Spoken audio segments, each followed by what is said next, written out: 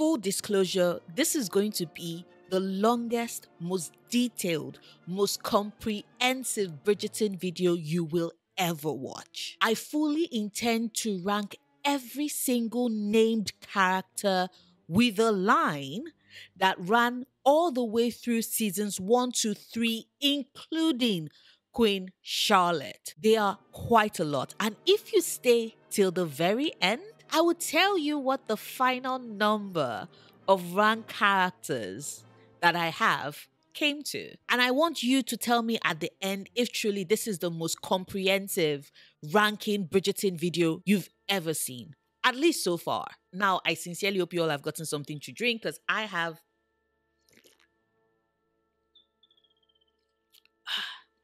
It's cold, it's soothing, it's sweet.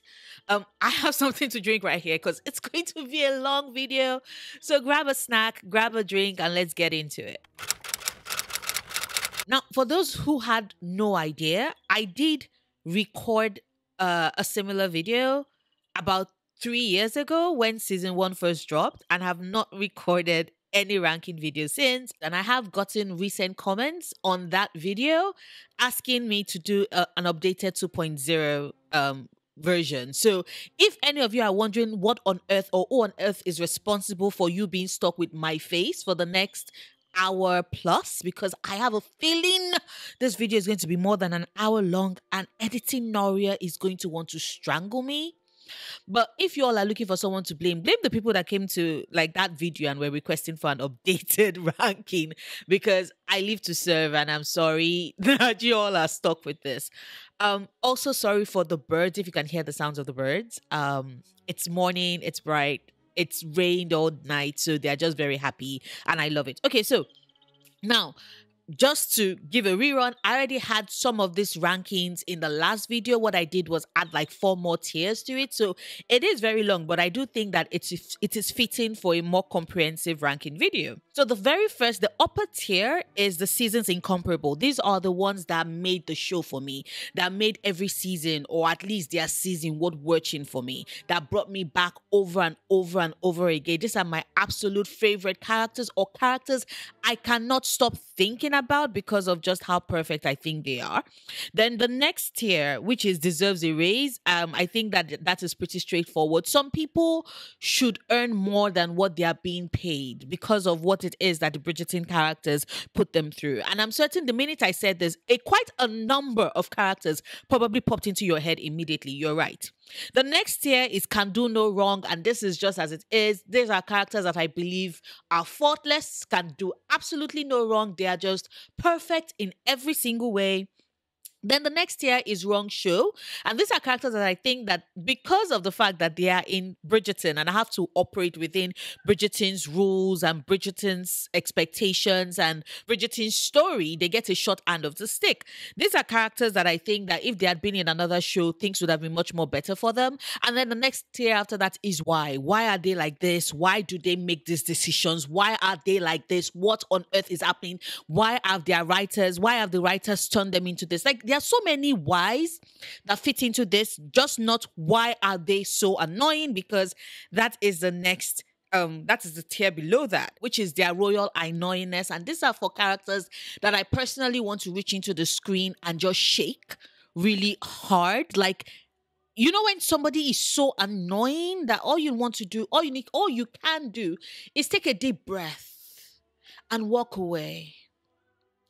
Because prison is a thing like those are the level of royal annoyingness. And then the final tier is This is Sparta! So those are the tiers. Now I'm certain you can already see the first set of faces. So let's get started. Starting with, and I'm just in case you cannot tell, I am doing the Bridgertons in um, honor of their birth order and also the way in which their names were spelt because I am not uncultured.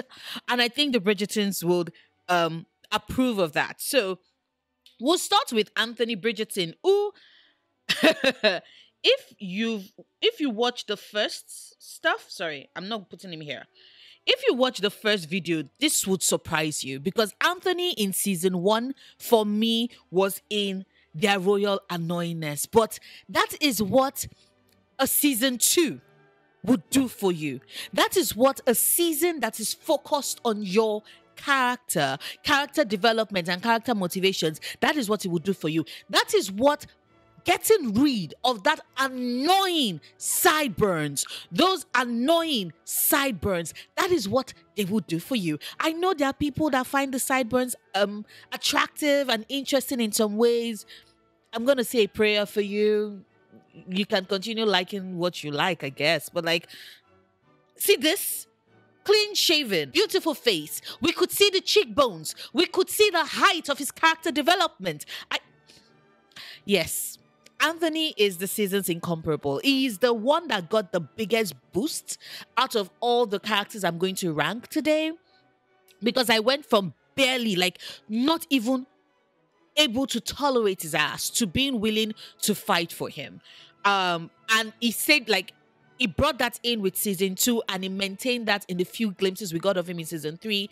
I absolutely love him now. Benedict I made a recent, my last Bridgerton video was why the writers treat Benedict Bridgerton as the middle child because they just leave him abandoned and forgotten and just do not bother giving him any sort of story because they only remember him when the story, when like it serves for them to be like, oh, look at Benedict. It's about to have sex again. I'm like, it's more than that. It's better than that. So, Benedict, you get a why. Like, why did the writers treat you like this? Why are the car- the writers unwilling to use Luke Thompson to the best of his abilities, to the best of what he's capable of? Why do the writers torture us so? Why are the writers so insistent on just massacring a character that we all love? Like, what? What? Why? Why? Um sorry. You know what? I would put I would put Colin in Y as well. Why? Because season three was meant to be Colin Bridgerton's season. Um, as much as I love my girl Penelope, each of the seasons have also focused on individual Bridgerton siblings, and Colin did not really get as much focus. He did not get as much of anything, love or romance or whatever. I did kind of allude to that in my disrespect video on Bridgerton because there were parts of season three that I enjoyed, but the fact that Colin Bridgerton, as far as I'm concerned, was sidelined a lot in what should have been a season is enough to have me asking why. Why were certain choices decisions made? Why were certain lines given to his character? I mean, who on earth thought it was in any way a good idea to have Colin accuse Penelope of entrapping him and so therefore he has no choice but to marry her like why was that a decision that was taken why um the next person, the next Bridgerton sibling is Daphne. And I'm sorry, um, Sis is still getting the, royal annoyingness because, like, I'm sorry. I, I think it was just the fact that what we got of season one was her season, and she annoyed the heck out of me in that season.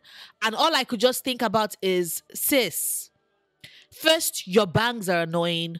Two, you are annoying. Three, why are you consistently annoying? She did try a little with the whole um season two of yo anthony you've compromised kate what are you doing she did try that but unfortunately it's just a tiny clip in an entire season of her pissing me off now i am certain a lot of you are like but noria Anthony used to be their royal annoyingness and he got a boost, he got a bump, right? They were both together in their royal annoyingness in my last um, ranking video.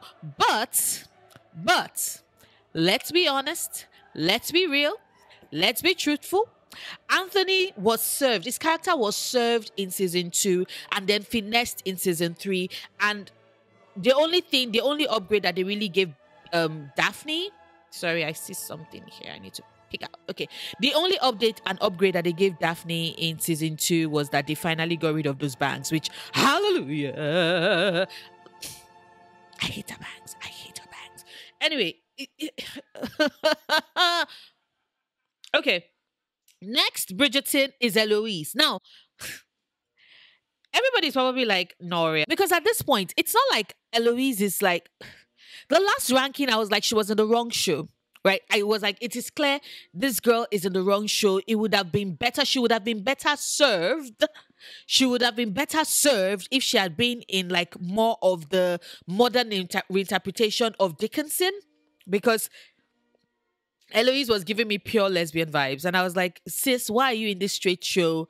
clearly you're going to end up with a man. Um, the writers have shown that that might not be the case, but not with Eloise, with another, with one of another of the Bridgertons. So who knows? Maybe she's no longer in the wrong show. But what that meant for me is that what I have had to sit with and experience for a lot of season three has dropped Eloise Bridgerton down to a why. You know, sorry, this is not moving. Yeah, oh, because I was I was like, why are you not moving? it has dropped her to a why because now I am questioning a lot of choices that the writers took, like a lot of decisions that they made. Why make Eloise such a terrible, terrible friend? Why make her so.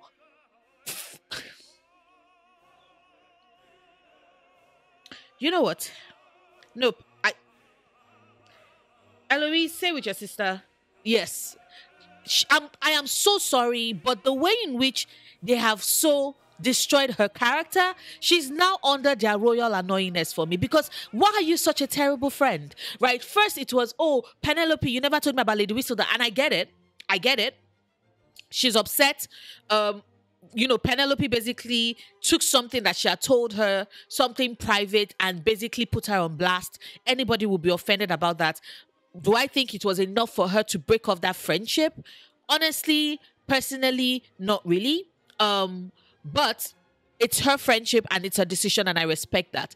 Do I think that it was like it was right for her to keep go- to keep going on and on and on about oh Eloise um your did you whistle down your Lady Whistledown how could you have done that? And I'm like girl you were supporting your team. Rah rah. Lady Whistledown, get the bag. Rah rah. You're doing things for women. Rah rah. I love the way in which you the way she writes. Rah rah. She's taking on feedback constructive feedback. And I'm like sis the fact that you could not even see that something you told Penelope right, with regards your thoughts and opinions about what it is that Lady Whistledown writes about and how she does not go further or deeper into certain topics. And right there and then, the very next issue, she did that. You should have clocked it as yo, Penelope, but nah, she loves to hear the sound of her own voice. She barely pays attention to what her friends are telling her. And we see that perfectly captured with Cressida because, like, girl, your friend was telling you that she was about to be married to this old, horrible, horrible man. And everything just scaled, like, went right through this ear and out the next. Eloise Bridgerton is a terrible, terrible friend. And they made her so annoying. I sincerely hope that, you know, just as Anthony got his boost from royal annoyingness to seasons incomparable when we got his season. Um, if we do ever get renewed for Eloise's season, I hope I hope she gets that because girl, what? Francesca, darling, baby, like seasons incomparable. Let's move you up. Let's move you up. Hold up, sorry. Uh yes.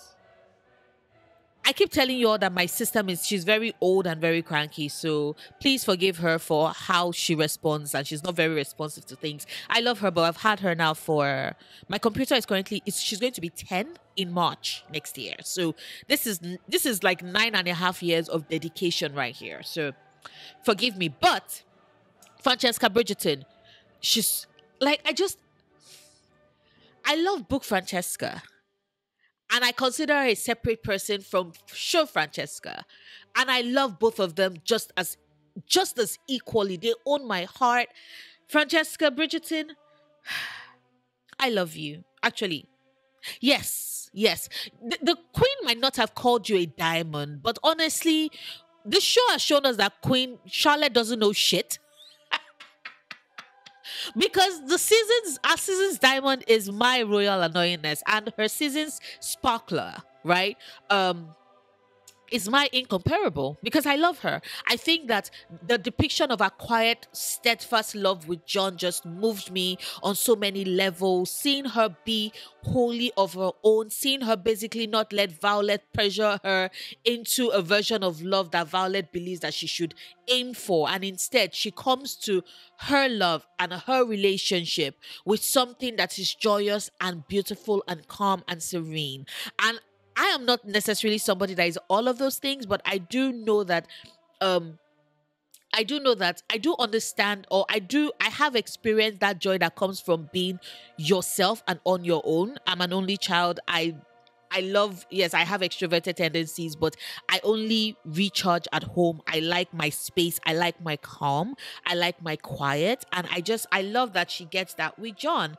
And like she's a brilliant pianist she expresses her opinions whether she's talking about the the music that she loves or she's basically shutting down or walking away from the gentlemen of the ton that are just stressing her out my girl is like i don't want any stress i just want to chill and find my best friend and marry my best friend. And you know what, girl? Same. Same. Um, next is haha Gregory. Gregory Bridgerton. Honestly, to be fair, I honestly think that I yes. Yes. I think he can do no wrong. I think he can do no wrong. At least for now. At least for now. He's young, he's cute, he's amazing, he's a child. I love him. And I also loved him in his book, actually, to be fair, because Gregory Gregory Richardson book Gregory is somebody that really loves love, the concept of love, and why wouldn't he be surrounded by it? Um, but sure, um, Gregory is just adorable, but he's just sitting in one corner, and um, you know, basically they trot him out, but not in the way in which they trot out Benedict that makes me think why. But they bring him out occasionally when we need to see him, um, whether he's nursing a broken arm because he climbed a tree and fell, or wants to be seen as like older, mature, and is upset that his his brothers are not going to see him, are not seeing him that way. He's adorable, actually, so he can do no wrong. Hyacinth, though, consistent. My girl, no, no, what am I doing? No, no, no, no, no. She's not in why. Computer, I'm sorry. Yes. So, my girl is the season's incomparable she's the season's incomparable. Like, I love her. I love Book Hyacinth. I love Show Hyacinth. Show Hyacinth is Bay. The way she keeps asking questions, the way she's curious, the, the joy, the glee, the way she teases Gregory, the relationship she has with her siblings. She's just funny and smart and intelligent. And ah, Hyacinth, I love her. I love her so much. Violet Bridgerton, honestly, Violet Hmm. Do you know what? this is the first. This is the first that I'm like, I don't know where to put her, because she's either in read the room, or she's girl. Sh- do you know what? No, not girl. Shut up. Because I do think that I sometimes what she does have to say makes sense but she's honestly in read the room. Because sis how can you not read the room? Not everybody is going to have the fantastic love that you had with edmund. John Stirling is a perfectly amazing brilliant love interest and a perfect amazing husband potential soon to be husband for your daughter. Read the room. They are in love. Just because the love looks different does not necessarily mean that it's any less the same. She's always like, oh, you know, um, the way she kept pushing suitors at Eloise. And I'm like, read the room, sis. Your daughter does not want to get married, or at least she's not interested in any of the men that you keep shoving in her faces. The same with Francesca. In fact, if we really look at it, I think of all her kids, right? Of all her kids that she that she basically helped the only people who you know she was able to spot at the glance that oh yes these ones are together is daphne and simon although to be fair that was when they were play acting for the longest time, which is why she was she kept being confused as to why Daphne wants somebody else. But eventually the attraction, the love, the emotions does come in. And I think she was spot on with that. But she didn't clock Anthony and Kate early enough, which is why she was surprised at their, you know, at the way everything went down. Um, I don't think she saw Penelope coming, but she did clock that, you know, Colin was not being himself. And I don't think she notices that anything is wrong with Benedict. Like, ma'am, ma'am, ma'am, you. Anyway, yes, like I said, I'm just upset because she did not like John from the start, and I loved him, and I was upset because I was like, sis, you're blind. You cannot see what is in front of your nose because this is a man that adores your daughter and that your daughter adores as well. Just because it does not look the way in which you thought it would look does not make it any less valid. Like, read the room. She couldn't even tell the drama. Initially actually no do you know what? To be fair she did eventually figure out the tension between lady danbury and her brother. So she is a bit observant. So this radio room is not in general it's just with regards her daughters because i think she's a bit short-sighted with regards her daughters and the best possible matches for them. It's not from a bad place because she does come from a good place but yes. Edmund. Edmund I'm going to put you in why, Edmund Bridgerton, because like you're such a good, you were a good father from the little we got of you. You were a great husband from the little you got of you. Like, why? Why were you allergic to that bee? Why did you die? Why did you die and leave dearest Anthony as the de facto father and leader of your house? Why did you die so young? Why did you have to be allergic? Why did you have to utterly des- like devastate your family by going?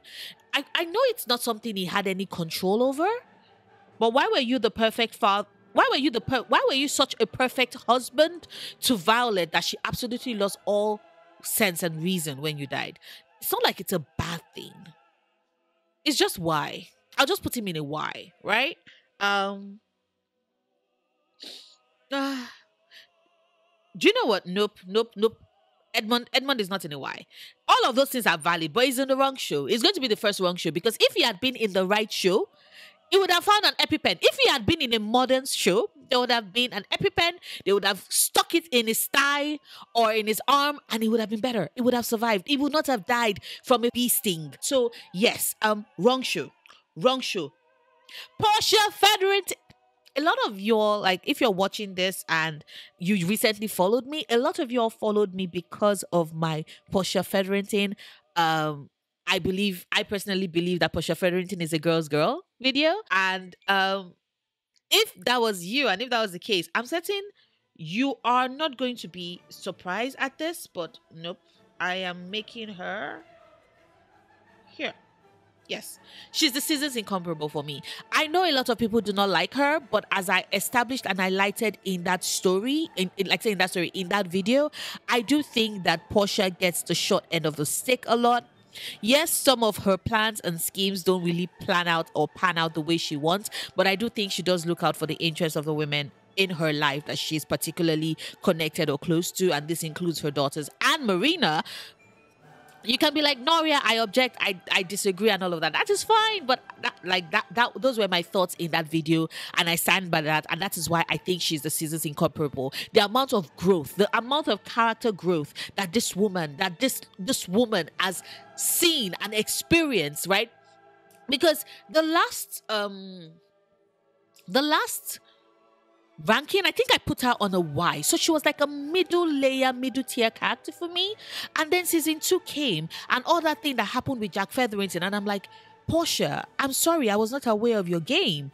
You're much more better and much more interesting than I thought. And then we got season three, and I'm like, yes, yes, incomparable. Season's incomparable for me. I think she's fantastic. And next up is my girl, uh, sorry. Let me see. Nope. What am I? Laptop. Don't even try it, sis. Don't try it. Penelope Featherington is always going to be the season's incomparable for me. Once again, this is a character that moved from like a middle tier to like the top ranks. She's right there with her mama because of the character development and growth. She's right there with her mama because I Penelope Featherington, as far as I'm concerned, deserves the world. You might agree or not, or you might disagree with me. In fact, that's something I wanted to say at the start of this video.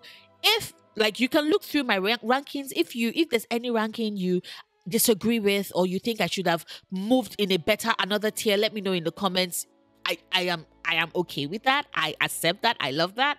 Um, but once again, this is my personal ranking. So yeah, personally, she's a season's incomparable. She's ambitious, she's smart, she's cunning, she's witty, she's charming, she's funny. Um, she's so brilliant and smart, but she's also so self-conscious, and she's also somebody who wants love, who wants care. And she's also someone who is loyal, who would look out for hers, like those who fall within, like her and hers. She will look out for their interests. And, you know, Sis is also somebody that is very willing to throw herself under the bus for the sake of her business. And I respect that. I respect that a lot. She's not a hypocrite. Um, I love I love her. Moving on to the next Featherington girl. Prudence Featherington, I think is nope, let me see. Nope, nope, nope. I think she's in the I think she's in the wrong show. I think Prudence Featherington and Philippa Featherington are both in the wrong show. Uh, sorry, sis. Yes. I thought I moved you. Okay, awesome. They are both in the wrong show, but when I get to their love interest, I will clarify as to what show I think they should have been in because these two girls, I love them. I love like I know a lot of people find them like maybe annoying, but the physical comedy, the lines, the way in which they deliver it, their their their own unique special brand that they bring to the series, absolutely love it. Absolutely love it.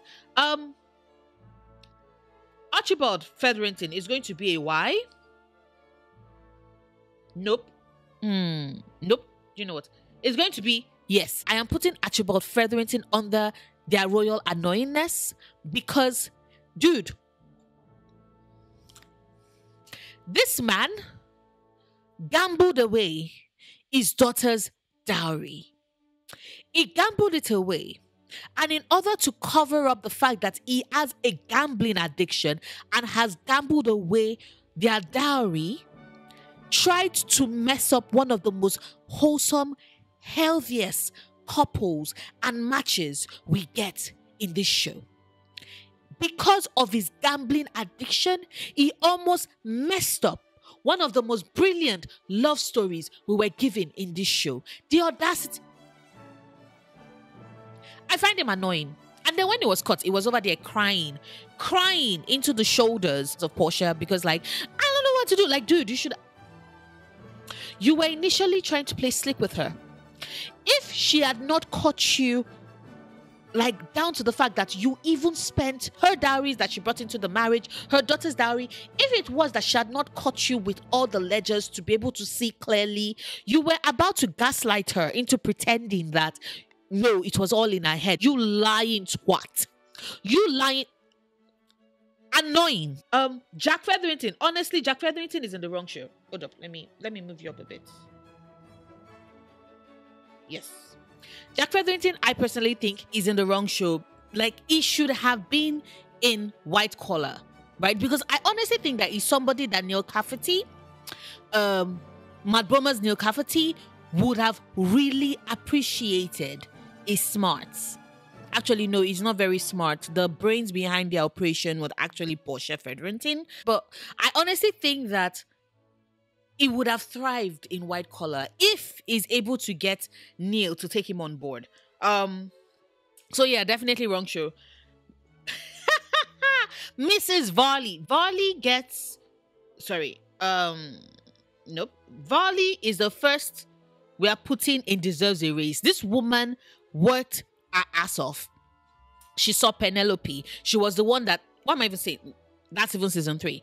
From the very start, she was the one that noticed that, oh my God, Marina is pregnant. She was the one that helped Portia in forging the letter. So she has the skills to forge. Once again, she can either be, it, like, it's either deserves a raise or wrong show but honestly, I think she just deserves a raise because she she she she is a multi-talented, multi-skilled artist. So you know, she helped with the forging. Um, she's the one that sees Penelope a lot. Um, that joy she had at Penelope coming into her own and getting like getting married and finding love. I was just like Varley, and then how she put in the her being the party uh, party, planner extraordinaire that she is and making the money work. Like she even got butterflies. Like Mrs. Varley was able to provide butterflies. That is a show stopping performance right there. Mrs. Varley, you deserve a raise. You will always deserve a raise. Um, let me see. Next is Marina. Do you know what? Marina Marina Thompson. Ooh. Huh. She's not a seasons incomparable for me. I don't think she deserves a raise because she doesn't work like that. And would I would I would I put her under can do no wrong? You know what? Honestly, I think she was in the wrong show. If she was in a show about how to successfully entrap a man, for example, or if she was in a show about single working class mothers, she probably would have thrived. Unfortunately, she was in Bridgerton and wanted to trap Colin Bridgerton into a marriage, even though Penn warned her not to, like, pick somebody else, do not choose Colin. And she was being um she was being bullheaded enough not to realize that she was treading on very thin ice. Honestly, I think it was the wrong show. Because if Penn hadn't been in the show, and if this wasn't a show that was eventually meant to get Penelope and Colin together as a couple, she might have stood a chance. She might have stood a chance. Ugh. Philip Crane. To Sir Philip with love. Philip, unfortunately, we we we don't get much of you. Do you know what? Wrong show. Why why am I saying wrong show? Um because it's clear that his love is always going to be plants and flowers, at least until another love comes his way. Unless we don't get that, because now we don't know exactly what path um the writers are going to take with the story. So are we going to get Sir Philip? Are we not going to get Sir Philip? Are we going to get Sir Philip, but not in the way in which we're expecting to get Sir Philip? I have no idea. But either way, I do think that is in the wrong show because clearly this man is built to be on Nat Geo Wild or something. Yes, I think he's built to be on Nat Geo Wild or to be doing documentaries on different plants. I I honestly think that he lives for his hot houses, he lives for his plants, he lives for his gardens, and that is what he should like. Th- that is his first love. So I definitely think he's in the wrong show. Simon Bassett, you know, Simon, I, uh, yeah. To be fair, honestly, nice. I'm wishing I had rewatched that video because I do not even know what the what was what ranking did I give him? Was it my seasons incomparable then? Was it the seasons incomparable for me? Uh was he? Was he? Huh. Simon Bassett, do you know what? He's still amazing. I'm going to put him in Y. I'm going to put him in why because why why did the Bridgerton writers and showrunners and Netflix as a whole not try and work out like a multi-series contract with Reggie when they had a chance? Like, why did we only get him for one season? It was one glorious season mind you. And I am grateful for what we got and thankful that we got what we got. But I want more of him. I wanted more of him. So one, why is it that we only got Reggie for one season? Like why didn't they sign multiple multiple um, contracts with him? And two, why not just recast him? Why not just recast him? Or why not give a believable story to us, the viewers, as to why he's no longer there? Because also now they've clearly um, we're not going to be getting Daphne anymore. But at least, even with the way in which they did um, Anthony and Kate, they already set up a premise as to the why. So we'll know why we don't see them anymore. But these two, we're, we're not going to, we're not going to get him anymore. And they did not give us any explanation. No, nothing. It is very unfair. Why? Speaking of Kate, Kate Sharma. I'm certain you all are not surprised about it. nope. Nope. What? sorry, sis is doing. Yes, she can do no wrong, but she's also my seasons incomparable. She's also my seasons incomparable. I love her. I uh, Kate, Kate, Kathani, Miss Miss Kathani Sharma, now Mrs. Kathani Bridgerton, the Viscountess Bridgerton, protective, perfectionist, um, outspoken, brilliant, bold, funny, amazing, forthright, with a mind of her own, independent. I love her. Loyal to a fault, to the even to to the detriment of the people she's being loyal to. Kathani Sharma. I love Kate so much. I love her so much.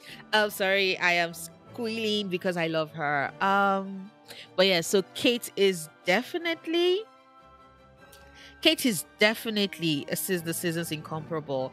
Next is Edwina, and you all know I love I love Edwina. Um, hold up.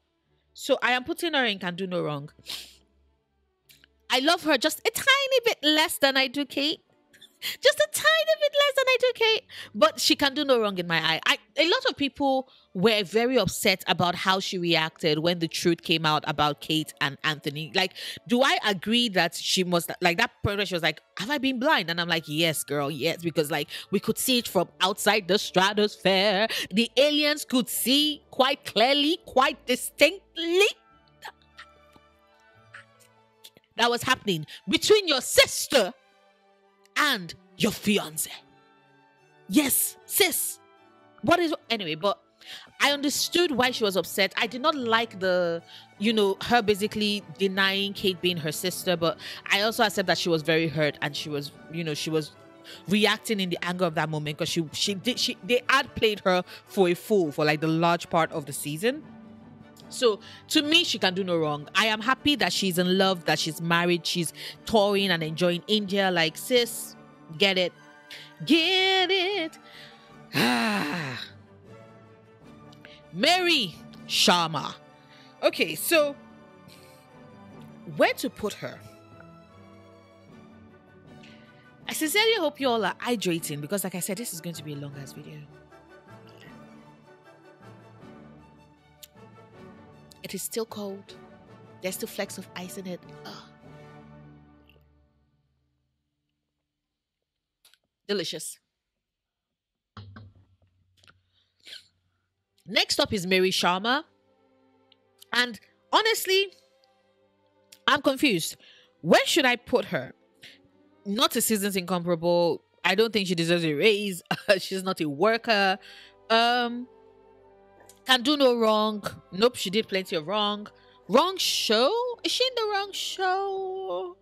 No, not really. Why? Yes, honestly, I'll put her in a why. But why in Wait, I oh yes, because I was like, it took a while for that to move. I'm putting her in a why because my own why for her is why is it that when Edwina said that thing, said those horrible words about Kate not being her sister, why didn't she check her at that point? Like, there's a way in which, as a mother, especially being aware of the why Kate did what she did. Like Edwina was a child. Mary was the adult in that situation, the adult in that relationship, and she fell apart when her husband died and left it to her stepdaughter, his child, a literal child, to take on that responsibility. And of course, somebody that has been groomed to take on that amount of responsibility since she was a child is going to be very hard for her to do any different as an adult. And so when Edwina, who, like I said, is rightfully pissed when she made that statement. When that scene happened, all I was just looking I was like, Mary, why are you not saying anything, any of this, anything? Part of this is your responsibility. You should be saying something. Like, what?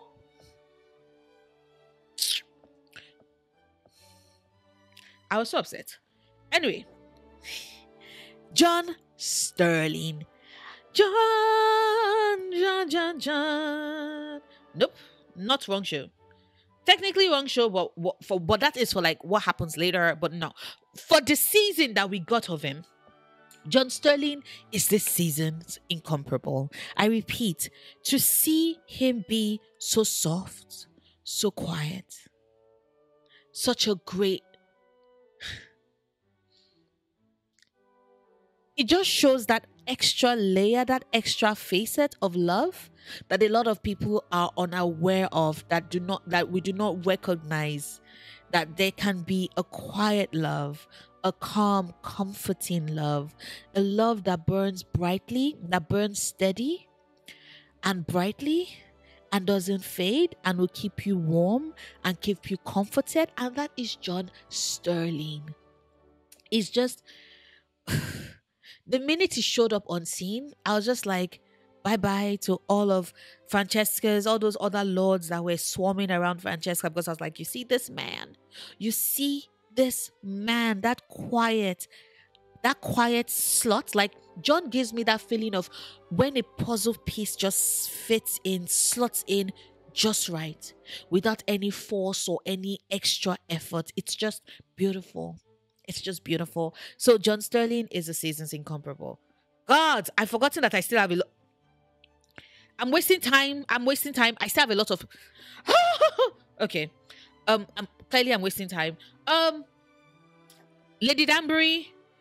She's always going to be the season's incomparable. Sorry, let me just move her up. I'm going to move her up. Don't worry. Yes, she can do no wrong, but she's also the season's incomparable. Like, she's been consist like the consistency of my love for Lady Danbury. It started in season one maintained its pace in season two, solidified itself in season three, and soared to new heights in season. Uh, no, sorry, solidified itself in Queen Charlotte and then soared to new heights in season three. Like, what is not to love? What is not to love about Lady Danbury? Incomparable. Nobody else compares to her. Queen Charlotte. You know what? Queen Charlotte is the same. Hold up hold up, hold up, hold up. Nope, nope, nope, nope, nope, nope, no.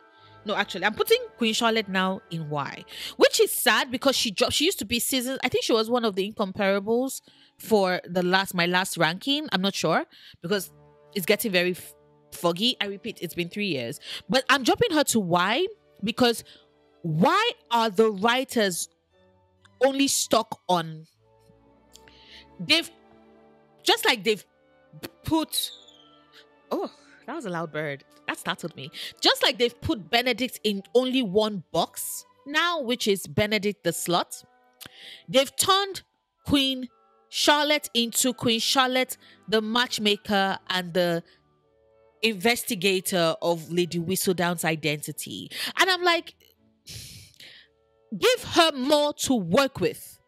She's funny. She's charming. She controls a room. She knows how to hold our attention. You can do better with her than just having her matchmake and choose the jewel, the jewel of the season and try and force a match and always, always fall flat on her face. Which regards the matches. Like Queen Charlotte deserves better. Why? Why? Why is that all they've turned her character into? It's so unfair. It's so unfair. Um, do you know what? George, I am moving George to wrong show. Give me a second. Yes, I'm moving George to wrong show. Actually, no. Am I moving George to wrong show? Because George Zida can do no wrong or wrong show. Can do no wrong, wrong show. Can do, like wrong show because I do think that if he had been in a more modern show, all that abuse he suffered, he would not have suffered it. That abuse was so unnecessary. So he would not have suffered that, but would he have met Charlotte? I don't know. So honestly, I'm putting him as can do no wrong. I personally think he can he can like he loves her, he loves his animals, he loves Venus. Like I too want to run naked in the woods, saying, marveling at the beauty of Venus in the sky. Like who wouldn't? Who wouldn't? Um so yes, I I do I do honestly it can do no wrong. It can do no wrong. Right? Like he has mental health issues. We all have mental health issues. Um he loves Charlotte. He loves her so much. It's just and in the moments of lucidity when he comes looking for her even amidst the fact that his mind is deteriorating George. Yes, so King George can do no wrong. In the show, King George in real life can eat it, can kick it. Yes, can can eat it, can kick it, can suck it.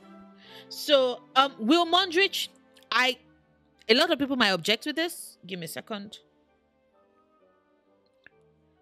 But honestly, I think he's in the wrong show. I personally think he's in the wrong show because of the way in which they wrote out the la- no actually is he in the wrong show is he in why because why did the writers no no no i think he's in the wrong show. Because i think if he was in the right show he would have been able to keep his bar. This is a bar he got by sacrificing his virtue by sacrificing his honor. He threw a match something he never thought he would do in order to make the money to own the bar. And by virtue of his wife's aunt dying and him becoming a member of the ton he had to give up something that was so important to him that he had to put in so much effort and work to get. Like it's just very unfair. So I definitely think he's in the wrong show. Because if he was in the right show, he would have gotten to keep, he would have gotten to keep his bar. Personally, Alice Mondrich is always going to be the season's incomparable. Sorry, let me let me move her up. Let me move her up. She's been this. She's been the season's incomparable since the very first season, and she's going to maintain that slot. because even down to you know, her initially being all like, oh, she's trying to respect her aunt, and then realizing that she can, you know, pave her own way. She does it with style, she does it with grace, she does it with class. I love her. Um, I'm a bit sad because she had to be the one to basically tell her husband, like, even when she was basically trying to get Will to understand the severity of him needing to give up his bar, she wasn't still forcing it on him. It was still his decision but it was more of a case of you're losing you're not able to keep track of all of these milestones of the kids as they acclimatize to our new world because you're not here. And um you know she was right in that regard. I just like i said will is in the wrong show but she she is a season's incomparable. Um next person madame delacroix. Madame delacroix Madame Delacroix is def she definitely needs a raise. Hold up, let me let me let me let me. She needs a raise, she needs a commission, she needs to be she needs to have stuff boosted for her because this woman has the patience of a saint. She's helping, she's running her own business. She's helping um, Penelope run part of her business. She's offering life advice to Penelope for free without any added charge. She's being the therapist, she's being the gossip spreader, the gossip monger, she's being the their designer. Sis is doing it all. Like, like let's be honest. Genevieve Delacroix deserves a raise. She deserves a raise. I, I sincerely hope that she worked out a sort of up like up payment with Penelope because she's more than earned it. More than earned it. Next is Sienna. Sienna is in the wrong show. Like it is clear that Sienna is in the wrong show. Because um unfortunately Bridgerton is a show where um our love interest have to meet our main characters and it's been written in a way whereby um if you are not the love interest you do not stand a chance and so her forbidden love the opera singer that um that Anthony would otherwise have gotten together with, and you know, she's also falling for him, and she's just a girl trying to make her own way. Like, she deserves her own show and her own series where she's this working class girl, like a maid in Manhattan, right? A maid in Manhattan, but a for opera singer. So, singer in Mayfair.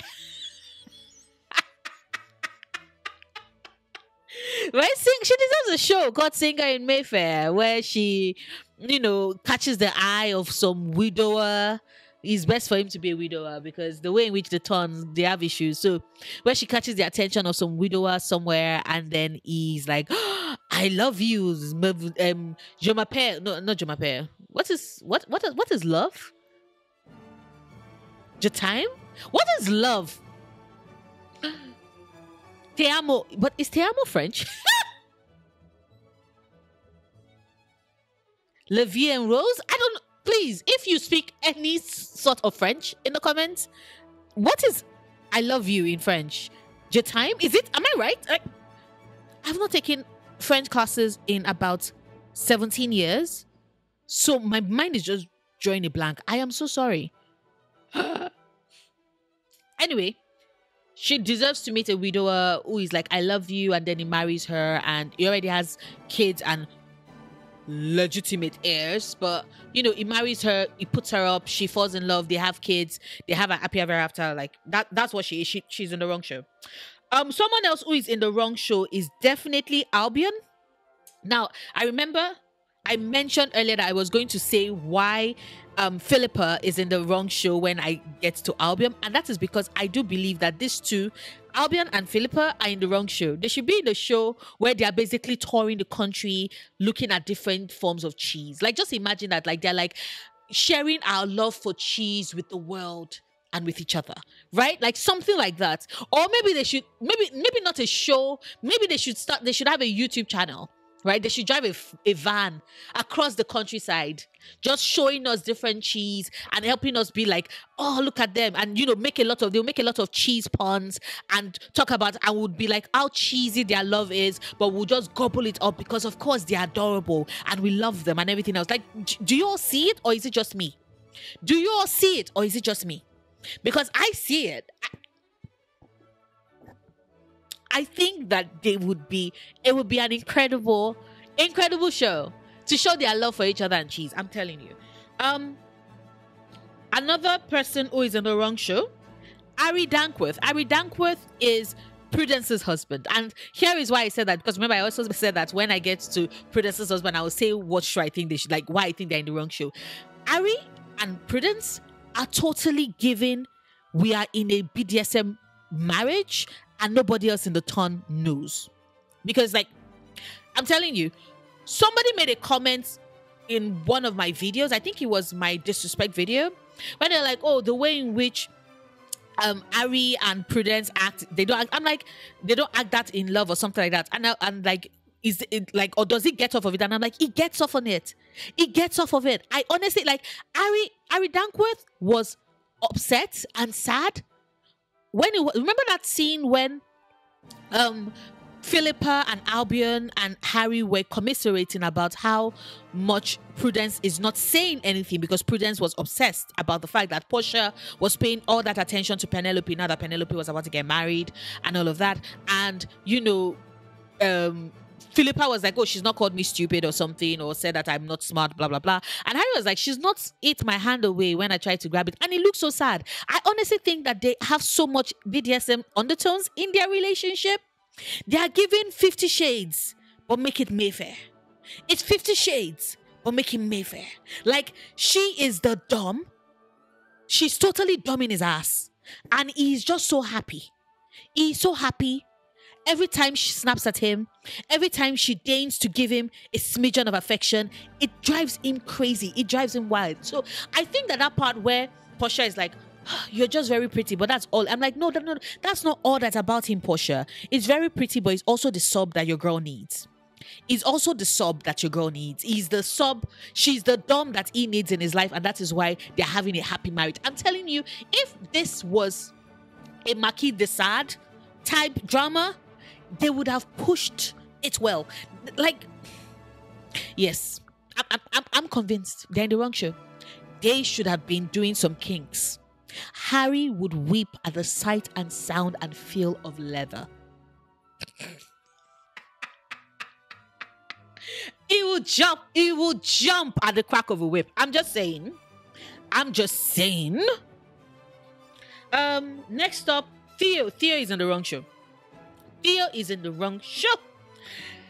The reason why Theo is in the wrong show is because he was over here, you know, doing stuff like bonding with Eloise and all of that. If if this was the right show, and Eloise was not totally coded, like I still think that they might make her queer in some way, but maybe they might not. Now that you know they've given that to now that they've given that to other members of her family, but or she might still be queer. I don't know. I'm not one of the writers a lot of people were coming for me in my Michaela why how I think Michaela can work video. And I'm like, yo, yo, people, I'm not one of the writers. I didn't come up with this thing. I didn't come up with the idea. The writers have thrown this in the air, and I'm like, maybe this is a way which it could possibly work. But anyway, I di- I digress, and I I digress. I, I apologize. Um, so uh, sorry, what was I saying? Theo, Theo Eloise, sorry, my ADHD brain, because my brain just went all circles and I'm like, I lost what I was saying. Eloise, um, even if it is that, you know, she was not, she's meant to be full on straight, heterosexual, and everything else, is not the final love interest. Like, is not who she's going to end up with. if we're following the books. Like is in no way connected to who she's going to end up with. So the lonely boy from the tracks falls in love with a girl from the other side of town. See, that is a show. That is a movie. That is a genre that he would have thrived in if he had been in that show. Unfortunately for Theo, he isn't in that show. And so um sorry. Sorry for Theo, but no. Araminta Cowper. Araminta Cowper. Do you know what? Huh, Let me see. I need to take a drink for this while I think about it.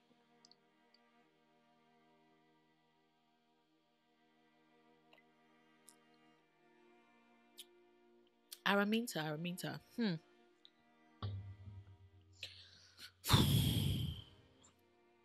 This is hard, but I'll put her in uh Y, I think. Should I put her in a Y? Nope, nope, nope, nope, nope, nope, nope. Should I put her in read the room? She's not oblivious though. No, she's actually very perceptive, especially when she pointed out that. Because mm, I don't find her annoying. I just think why? I just think why? Why didn't she stand up for Cressida? Like I get it. Her husband was abusing her. And for those that do not know, financial abuse is a thing um, and it is a form of abuse, a valid form of abuse, and that is what Lord Cowper was using to keep her and Cressida, um, to keep them in line. So he is, she did marry somebody who is abusive, um, and but it still pains me because even in that final shot of Cressida being taken away and leaving and all of that, she she did not even pay any attention to her. She didn't pay any attention to her. Like she didn't offer her uh, some sort of. She tried, but she didn't offer her some like a valid sort form of comfort that I think that Cressida needed in that scene. Um, she, I'm, I'm not going to call her annoying because like sis even helped her daughter write a Whistledown column. Like she did she put in the work. So i know that she was trying the best that she could. I just think why? Like why marry such an abusive person? I'm certain that it was not her choice but also the what she could control which was the little ways in which she could try and comfort her daughter in a way. She didn't do that, but also I know why. You know what? I, I think she's in the wrong show. Let me move away because I, I cannot I cannot judge her too harshly. I am sorry. Um no, I'm not sorry, but I cannot judge her too harshly because she was trying the best she could with what she had. And I think that if she had been in the right show, if she had been in the right show, um, namely a more modern one, maybe she might have worked out a way to get a divorce or found a way. Maybe she would have been scrolling and um, squirreling money away. Because remember, this is also the time when women did not control and own their own money, which is why Penelope Featherington is such a revolutionary. But um, you know, uh, it's I just think about it that modern show she would have set aside money, she would have been able to take care of her daughter. Um, they wouldn't have needed they wouldn't have needed a husband to the extent where it could be so controlling, or she would have found a way to just like sort herself out and get her money. So I think he's I think she's in the wrong show. I honestly think she's in the wrong show. Because she would have done better. She just was hampered. Right? She was just hampered. Lord Cowper, girl, shut the f- Every single time he opens his mouth, I just want him to shut up. it's not annoying because maybe the reason why I am not as annoyed with him is because we do not get enough of him, right? No, no, Mama saying, mm, nope. Lord Cowper. This is Sparta! Because he's the very first this is Sparta we get because initially I was like, oh, you know, he doesn't show. But I'm like, no, no, no, no, no. This man is abusing, is financially abusing his wife and daughter. This man basically was trying to force his daughter to marry a, a, a man so geriatric. It could have been her grandfather. This man is is thrilled at the thought of his daughter going to live with his also abusive sister. This man was foul about his daughter getting a visit from her friend. This man needs to be pushed down a hole, never to be seen again. Lord Cowper, this is this this this this right here is for you. This right here is for you. Okay. Um, Cressida Cowper, wrong show. Wrong show because honestly, girl, I am so sorry that you had to go through all the nonsense you had to go through. She's in the wrong show because if she was in the right show, she would have had a better friend. It would not have been it would not have been Eloise. If she was in the right show, her better friend who knew or is aware of who the writer of who Lady Whistledown is would have been paying attention to her concerns. And so therefore, her better friend would have spoken like a better friend who is who would be aware of why she needs money and knows what she's facing would have gone to meet Penelope and been like, okay, Lady Whistledown, can you please write something to help salvage Cressida's reputation because this is what is about to happen. Her father is about to marry her off to this awful, god awful man. Like, if she had been in a better show, she would have had better options. If she had been in another show, she would have had better options and the mess that they did with her character at the end wouldn't have happened. So, Cressida, baby, I am so sorry you're in the wrong show. You're in the wrong show. Lord Marcus Anderson, Lady Danbury. Okay, hold up, let me see. Uh, sorry, hold up, let me see, let me see, let me see, let me see, let me see. Lady Danbury's brother, Lord Marcus Anderson. I am, of course, moving him to Can Do No Wrong because, to be fair, he can do no wrong as far as I am concerned. Um, as far as I, me, and my family are concerned, he's about to clap them, like, he's about to clap Viola's cheeks. I'm sorry that was inappropriate, but then again, you know I do say some inappropriate things on my channel.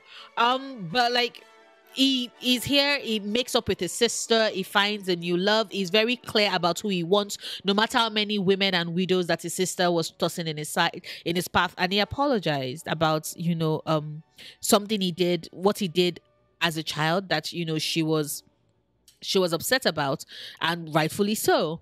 And he also was at was willing to admit and it was not forced out of him. He had self-awareness unlike a certain colin bridgerton Colin, you deserve better. Anyway, sorry.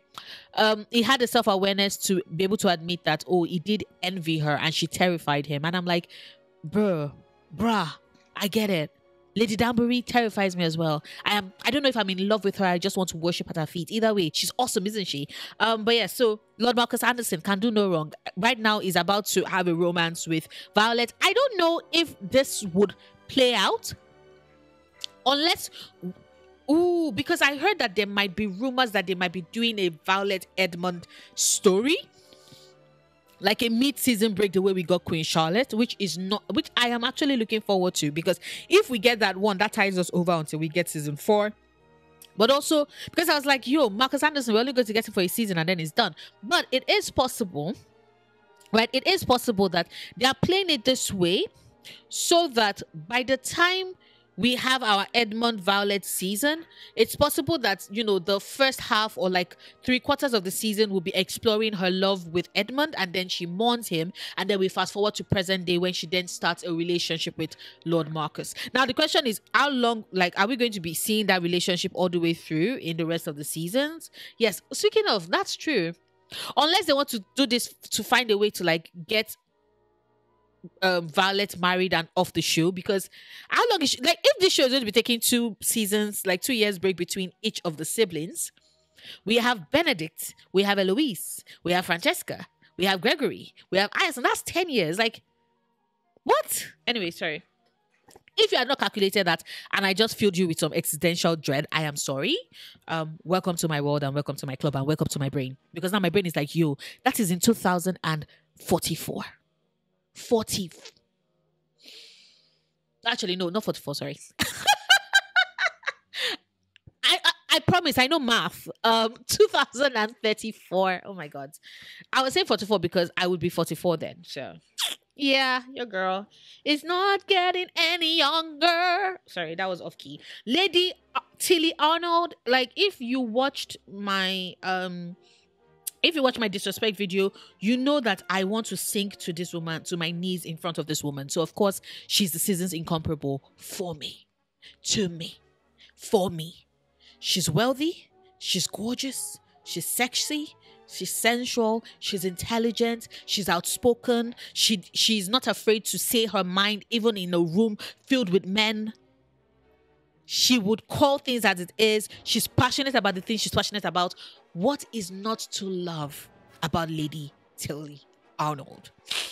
And I've heard that this actress that plays her is in Black Sails, which is a show I intend to start soon because the hold that she has on me, the hold that she has on me. Oh my God. Ooh. Ooh. Ooh. Ooh. Ooh. Ooh. Ooh. Okay. Oh my, I still have people. We've been here for editing is going to be a bitch. I need to speed it. I need to speed things up. Next up is Reynolds. Reynolds is definitely in the wrong show. Hold up, let me let me let me move you. Okay, so hold up. Reynolds is clearly in the wrong show, and while I'm at it, I'm going to move Brimsley as well to the wrong show. Why? Because like these two are just absolutely fantastic. Reynolds looking after George, Brimsley looking after Charlotte, both of them in love with each other, having that forbidden love. That scene, that final shot in Queen Charlotte of Brimsley dancing alone broke my heart. And like the fact that they could not be together in their world at that time is just something that I find particularly painful. And they're in the wrong show. Because if they were in the right show, if they were in a more modern show, or if they were in a show like Dickinson, where you know um, people are allowed to be loud and queer, then they would have thrived. And I know you all are probably about to come and be like, "Noria, you see, this is the reason why Michaela does not work." I already said it that. Once again, it is the writers doing with this what they will. I've already stated in that how it could possibly work. Um, am I upset that because of the fact that the the writers did not realize that this is a path that they wanted to toe, they basically set some things up to contradict their story in previous seasons and previous stories. Yes. Because now I'm like, yo, you could have just given Brimsley and Reynolds a happy ever after. I'm still pissed about that. Um, so I'm not going to discount and say that that I don't find that upsetting but also like i said it's the writers is what they want to do with the story. I'm just here for the ride and to see how it all plays out and hopefully have a great solid time. Um but yes like they're in the work show. If they were in a more modern show they would have ended up together. And it's just reynolds and brimsley i love them so much. Ah the dowager princess augusta george's mother. Okay. Do you know what I honestly think I'm going to put her in read the room. Right? Read the room. Because th- there are some things, some casual things that she said, the whole intruding on privacy, wanting to know if their marriage has been consummated. A lot of the drama that we experienced in, Sh- in Queen Charlotte was because um, Princess Augusta was having a conversation either with George or with Charlotte that either George or Charlotte overheard. And then we got angst. I'm like, sis, let these kids work things out themselves. Read the room. They were falling in love. They were happy. She was always going to come in. I get it. Because everything she was doing was for the sake of her child, of her son. I get that. But I honestly wanted her to read that part where she was when um you know it was discovered that Charlotte was pregnant and she was like, "Oh, I'm going to move into Kensington, Kensington House," and I'm like, "Excuse what? Read the room." anyway, like I said, read the room. I'll put her in read the room because she was not reading anything at all. Jeffries, um, next up is Jeffries, and Jeffries is um Simon's Jeffrey is Simon's um, manservant, and I am going to move him to deserves a raise. Yes, I'm going to move him straight to deserves a raise because honestly, just that scene of Simon being all like, "Why is this why is this um why is this painting here and it was like you know i was asked to put it up like i was just like Jeffries you Simon going all wishy-washy with regards what he wants, what he does not want, because he was torn and confused about his feelings for Daphne, and that painting was one that Def- Daphne liked and enjoyed and interpreted a certain way. And Jeffrey is just like, I'm, I'm just following orders here, and I'm like, dude, you deserve a raise. In fact, a lot of the, a lot of, speaking of raises, Rose Nolan, Rose Nolan is the um is Daphne's maid, and I'm certain we can all agree that she deserves a raise she deserves a raise because without her, Daphne would still have not had any idea how children are made, how babies are made, because of course Violet failed her. The mamas of the town seem to have failed all their children, um, but you know Violet especially more so because Daphne actually asked her, and she said nothing. She gave us nothing, but Rose, Rose gave us everything. In fact. I'm actually torn because I can either put Rose in deserves a raise or put her in wrong show because she should be teaching sex ed she's clearly quite talented at it. But at the same time, I'm like, girl, you deserve better. You deserve better. So um, you deserve more money. You deserve better and you deserve more money. So I am putting her on that deserves a raise because that is she deserves everything. Still on the deserve a raise, Mrs. Wilson. Mrs. Wilson is the head um the head the housekeeper I just said eh, there's no need to say head housekeeper because housekeeper already implies head. But she's the housekeeper for the Bridgertons, and that's just by virtue of Eloise coming to meet her and being all like, Are you Lady Whistledown? is enough for that woman to get a raise. Because the way she just laughed and was I was like, with all that I have to do, bitch, what? I was just like, Lady Wilson, you deserve Mrs. Wilson, you deserve a raise. Another person that deserves a raise, Mrs. Colson, because I just I just think that the fact that Daphne and Simon made sure that they were trying to have sex or they had sex in every single corner, every single place she turned, her boss was having sex with his wife. Personally, I think she deserves a raise, and I think that it should have been filed a warning because that is sexual um harassment? Is that sexual harassment? When your boss is making you see his butt everywhere like you you should not be catching glimpses of your boss's butts in random places when you're just trying to do your job. She should have been given extra. She she deserves a raise. And every single time you know she was mooned by either simon or daphne she should have got a little extra for the trouble. Because sis this this is sexual harassment at this point. It was just uh, henry granville also wrong show. Also wrong show. You know what? In fact, Henry, wrong show. Um, Lucy, wrong show as well.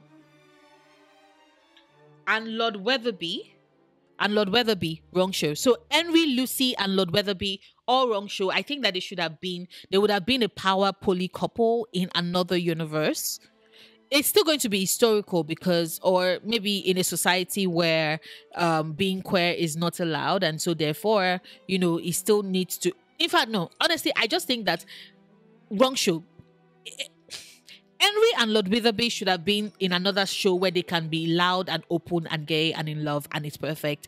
Lucy Granville should have been in her own show where she could basically have her own RM and have a great time. And I would just be here loving that she's having all the sex and having fantastic times. So I personally think that they're in the wrong show. Once again, like I already stated with Brimsley and um with Brimsley and Reynolds, the show has a problem with continuity. I'm trying to I'm actually very eager to see how they are going to explain all of this away because like your girl wants to know. Um but yeah, so wrong show. Next is Lord Charles Cho. And honestly, do you know what? I would put him as this might this not sorry. This might surprise some people, but I will put him as can do no wrong. Right? I'll put him as can do no wrong. And why? Because you're like, who the who on earth is Charles Cho and why are you placing him so high? Sorry, excuse me. I hydrate and do no wrong because this is somebody that kept trying his best. He initially tried dancing with Eloise, she rejected him. He tried, you know, making a match with um, with Edwina was foiled by Kate. He tried dancing with Francesca. She also rejected him, and he still did not give up on love because eventually he did bag the baddie that is Emma Kenworthy, and I approve of that. I honestly think that a man that one he was not doing all them kiki nonsense with um, Colin where they were laughing about Penelope's prospects. It was never it was never about that life. He was a romantic who wanted romance, and I love that for him. He eventually got it. I personally think he can do no wrong. That is just me and my three cents. Um, Lord Fife is the one of Anthony's friends. Yes. So next up is Lord Fife, and he is one of Anthony's friends. He's also the one that basically um, was asking Colin if he would ever, ever consider courting Penelope Featherington and was asking Colin about all of his travels and trips and all of that. And he's the first one in, girl, shut up because, like, your voice annoys me, Lord Fife. Your voice, your face, everything annoys me. Just shut, shh, shh. he annoys me. He annoys me. Next up, Lord Debling. Y'all, like, everybody at this point knows everybody at this point, if you've spent any amount of my time on my channel, sorry, I'm moving into wrong show, know that I love Lord Debling.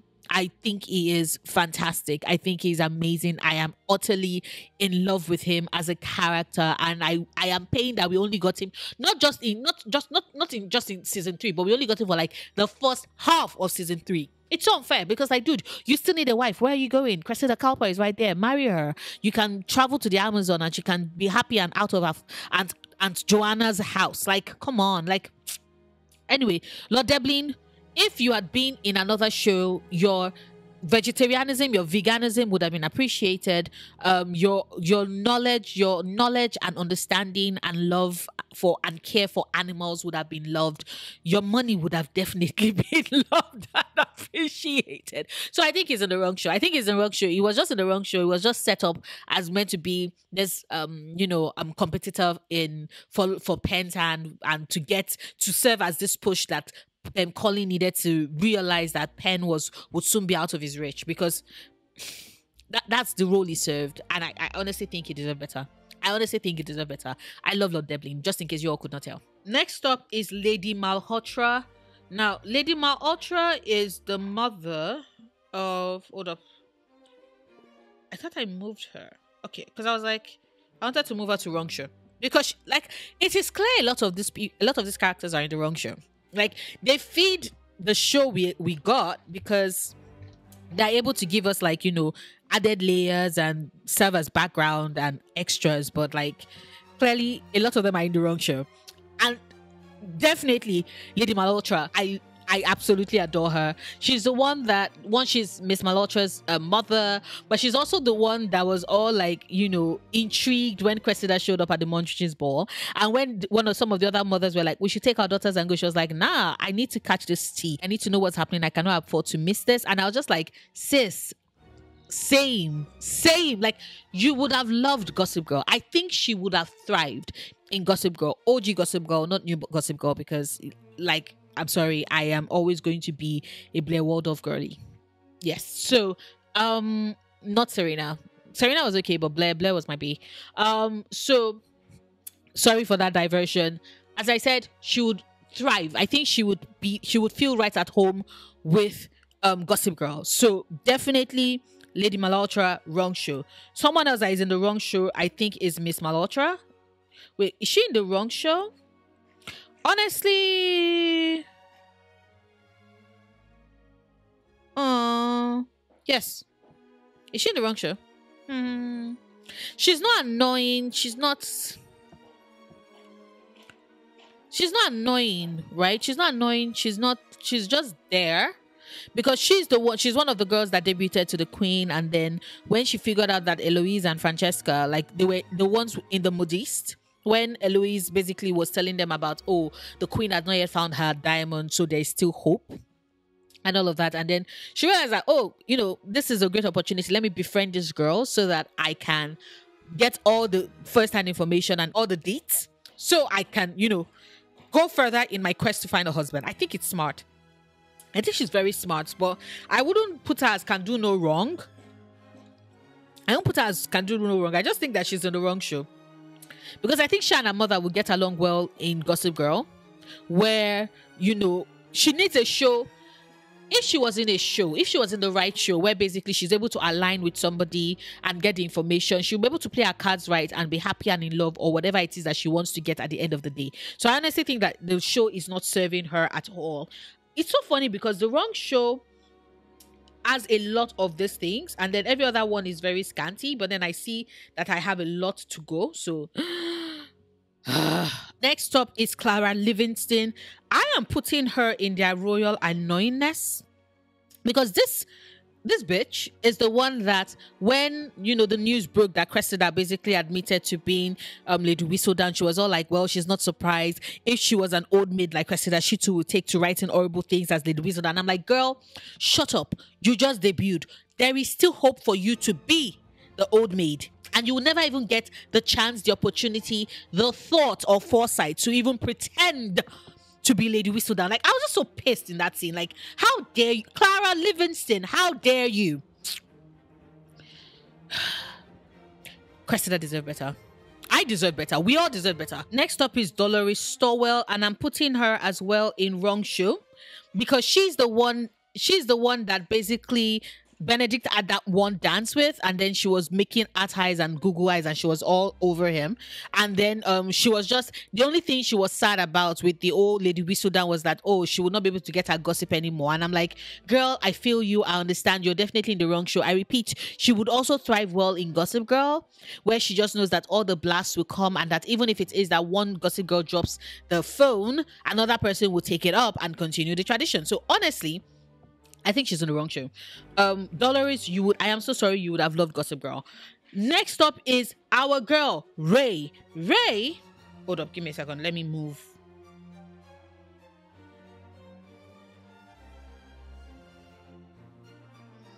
I'm moving her to, you know, deserves a raise.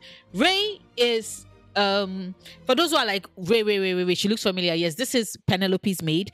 It is Rae that gave us the opportunity one for Colin and Penelope to do that or pretend I'm I'm teaching you to get a man sequence that we got because she was the one that was chaperoning Penelope through all of it and basically being there to keep an eye on her mistress. But you know, without her, Penelope would not have been able to do that. She's also the one that set the stage and allowed Colin to see Pen late at night that then led to the case that then led to Colin basically having sex dreams about Penelope, which was when what then rewired his brains to see her as desirable. And then eventually, you know, we got that hot as a uh, make out ride, uh, a make out th- session in a carriage ride, and then we got the engagement and the marriage and then everything else. So Rae was instrumental for Polin getting together. She deserves a raise. In fact, she deserves a raise, a bonus, everything possible. Just throw all the money because, sis, thank you for your service. Emma Kenworthy. Emma Kenworthy is the is the person that eventually Charles Cho marries. Um, there you go, girl. I'm also putting nice can, can do no wrong. Sis, our only concern about Lady Whistledown was one she, you know, she wanted Lady Whistledown to report on her wedding dress. And she was so happy when the news came out for Cressida, like, oh, that, oh, Cressida is Lady Whistledown. Because as far as she was concerned, it doesn't matter who is Lady Whistledown. The important thing is that Lady Whistledown, as far as she's concerned, is doing great work and great service for their community, and she loves her. Like she was telling her husband, her fiance, then Charles, like you see, like this is why she loves her. She's so incredible. And I'm like, girl, you're famsing over the wrong person. I'm certain. I wish you had gotten some recording after the news broke that Penelope was Lady Whistledown because I am certain she would have been through the roof ecstatic at the news. Ken is like of all the other ladies and the young women in the town who were being totally horrid when you know Cressida was like, "Oh, I'm Lady Whistledown" and all of that. She is the only one that was like, "Girl would be is supportive of Lady Whistledown." Period. And I, I love that. I love that. So can do no wrong as far as I'm concerned because she also loves Lady Whistledown, like we all do, or at least I do. I don't know about you, I love Lady Whistledown. Next stop is Lady Lady Livingston, and I'm going to put her right here beside her horrible daughter because, like, mother like daughter. Lady Livingston is the one that was all like, oh, Lord Debling is weird because of his interest in plants and stuff. But that's not why I consider her annoying.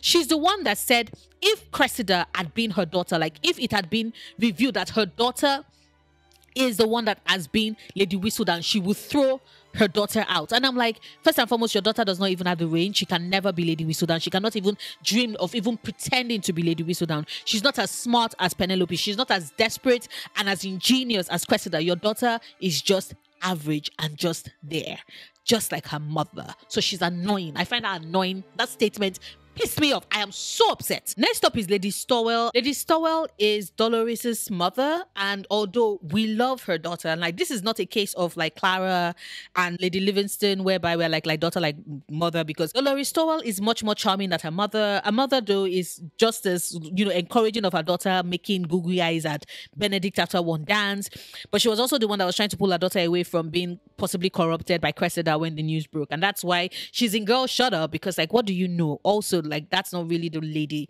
the real lady Whistledown, but she's not as annoying as Lady Livingston and her daughters. Like those two. Ugh. Next up is Winifred Barrigan. Honestly, and I'm putting her in not in why I'm putting her in wrong show because she's the one that basically was upset that Lady Whistledown stopped reporting because she had bought a new dress and she wanted her to report on a new dress. And I'm like, you know what, girl, you would have loved, thrived in Adventures of a Shopaholic because I honestly think that she got it right. She's resigned herself. Like, sure, just like all the other ladies in the ton, she hopes to make a match, but she didn't make a match. And although everybody else was like, oh, they wanted Lady Whistledown to report on their engagement on this and all, she's like, I just wanted her to report on my new dress because it makes me feel pretty. And I'm like, girl, this girl understands that for her personally, even if it is that she doesn't have a man, she at least would look very, very pretty. And that is just as fine and just as worthy of being reported on. And I'm like, yes, yes. I honestly think that she was in the wrong show. She she could have been killing it somewhere, fashion runway somewhere. It would have been great. It would have been fantastic. Lady Barragan, I'm putting that in short up as well. This is um, you know, Winifred's mother, and she was also one of the mothers that wanted to leave the Mondrich's party when Cressida showed up because she didn't want her girl corrupted. And I'm like, girl, please bye what? Bye. Then there's Anne Artigan. Anne, I am putting her in Can Do No Wrong alongside my girl Emma Kenworthy because Anne was just ingenious, right? She was one of the people who was trying to get the identity of Lady Whistledown. She's the one that showed up to the Queen limping with her leg in a cast because she chased, she was so desperate for the scoop that she chased after a delivery boy and broke her ankle. And then, of course, she still came up with the oh, I believe that because of that, Lady Whistledown lives in Mayfair. Like, girl, sis, of course, you're not very bright. We know that. But at the same time, I was just like, she still can't do no wrong because that was entertaining. Like, this girl committed. She was committed to the bit. She was committed to getting the scoop. And I was just like, you know what, girl? I feel you. Same. Same. Next up is Duke Adolphus, and I'm going to put Duke Adolphus. Hold up, not read the room. I'm going to put him. Actually, yes, I think I might put him in read the room. I was about to put him in the wrong show, but I'm just like nah, because everybody could tell why he was so surprised that Lady Danbury turned him down. I would never know because it was pretty obvious that she was not really into him. But you know what? No, no, no, no it did think so validly and for a long time yes she just didn't want to get married again. So i wouldn't blame him per se. I actually think he's in the wrong show. Because if it was in the right show he's actually quite a catch right? He's a duke is the is a duke from a foreign country is the brother of a prince of the of the queen. Um there's so many things that he has going for him. He's funny he's charming he's handsome he's considerate he's just amazing. It just he unfortunately showed up at the time when one Lord Ledger was clapping Lady Danbury's cheeks, and um, two, she was not interested in marriage or anything. Like she had done her commitment bit to her husband, and she was done. And I respect that. And you know what? He took it very graciously, and that's why I'm like, he's he's very kind. Duke Adolphus is very kind, and I do think that he's on the wrong show. If he was on the right show, he would totally have gotten the girl. L- um, Lord Erman Danbury, however. This is Sparta! Some might think that he's not as bad as Lord Cowper, and um, I'm just like, financial um, abuse, sexual abuse, all is abuse, and there's just some way about somehow something about the way in which you know they showed Agatha's marital, you know, um marital rape on on screen that just made me mm, ick, got me gave me the ick. So every time I was just like, I want to punch this man. I cheered when he died. I legit cheered when he died. So by the first Lord Danbury, Erman Danbury, yes, by uh because like it didn't even look like he was in any way concerned about her pleasure and her desires and what she wanted. Like it just nope, thank you. Coral. Coral is Lady Danbury's maid. Um, we saw her in Queen Charlotte, and honestly, like all the many maids in this list, she deserves a raise because she was the one that was making the bath. She was the one that was the confidant of Lady Danbury. She was the one that basically cheered, like you know, cheered with Lady Danbury at the death of her husband, and then proceeded to fake will at the at the loss. Um, she's the one that you know basically was like, "Oh, you should take out a blanket," because she knew that Lady Danbury was having fun and um definitely interested in Lord Ledger. Like she was just supportive and of her mistress and protective of her mistress's secret, and she definitely deserves a raise. Ah, Prince Frederick, I would always say you are in the wrong show because just as with a lot of the others on this show, you could have um you know, it, it would have been the one if this was a Cinderella Sleeping Beauty in retelling. Perfect fit, perfect fit. Unfortunately, nope. Um, Simon, the minute that tongue came out, Daphne was gone, and you did not stand a chance. I am so sorry, my prince. Ah, it's a pity. You did not compare. Your tongue did not compare to that of a duke. you failed in the competition in the battle of the tongues. Next up is, I have at a glance, I had like full on here the sons and daughters of Queen Charlotte and George, and I'm just going to move them all to one category, which is just why. Starts with um George, that's George the Fourth, George Prince of Wales, um, the eldest son of Queen Charlotte and of Queen Charlotte and King King George the Third, and it's just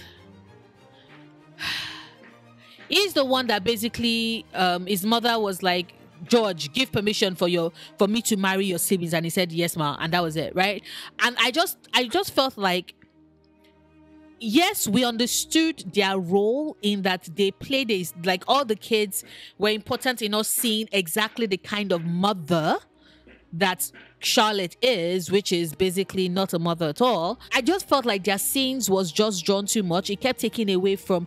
I was more focused on the past because it it took away from me being able to really enjoy the past as well as I should because all my focus was on like these two people that are so in love would be such horrible parents in the future based off of what we're seeing. They just drove the case of why. Why did we have the why did we have this whole sequence of showing them because it just made it to me personally it took away from the story I was being shown. Next up is Prince Adolphus also why he's the one that is in love with an actress. I wanted to marry her, and his mother was like, nope. Next is Prince Edward. I'm also putting him in Y because I repeat, I've already stated why I'm putting all of them in Y.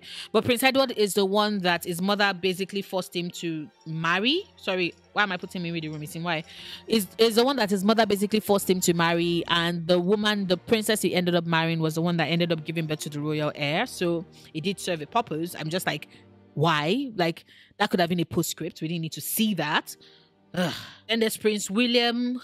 Prince William is the one that had already that was basically um he already had kids. It's just that all his kids were illegitimate because he had them with this actress who was his mistress and his mother wanted legitimate legitimate heirs, so they didn't count. And she she also forced him to marry. It was the second son that she forced to marry that she had um George basically given approval so that they could be married. Next up is Prince Augustus. Prince Augustus is also is the one that was having an affair that has been having an affair with a married woman.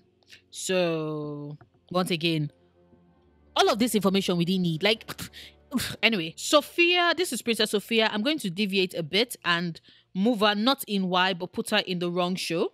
And I will explain why when I get to her sister in a bit. So Princess Sophia, um, wrong show. Prince Ernest also exists to just basically um also exists to just basically be like we need an heir. We need a hair. Totally unnecessary. Why? Then there's Princess Elizabeth, and honestly, I am putting her in the wrong show as well, but for a different reason than the other princess. Um, she I'm putting in the wrong show because she was having fertility issues, and she's the one that basically spoke to her mother and was like, "You you need to stop pressuring us about it. It's not as if a lot of us are not trying our best. You know that I keep having miscarriages, and I just want to hug her. And I think she deserves to be in a show where basically, she, you know, she would actually have a proper doctor, proper care to be able to find out why she keeps miscarried, uh, miscarrying all her babies, and probably provide support and also have like therapy to have ash this out with her mother because she never does get that closure. Next up is Princess Augusta. She's the one that was named after her grandmother. Um, sorry, let me move her. She's the one that I say I'm putting in the wrong. Sh- I'm putting in the tier for the wrong show alongside her sister princess sophie sophia and that's because these two were the ones that when their mother was sorry let me move her yes let me just move you here because these two these two were the ones that when their mother was talking about oh giving me babies and all of that they were just cons- uh, like focused on the fact that they were sewing a bread spread for their dollhouse. And it was just so cute. That joy of finding your hobbies even though you know society is like you're too old and you should be married. And they're just sewing bedspreads for their dollhouses. And i'm just like sis you're in the wrong show. If you're in the right show you'd be old married maids maybe or spencer or you might even find love in your latter years. But you would your life would be filled with your hobbies and the things that bring you joy. And you will not have a mother breathing down your neck talking about giving me a royal heir, give me a royal heir. They're like they're in the wrong show, honestly.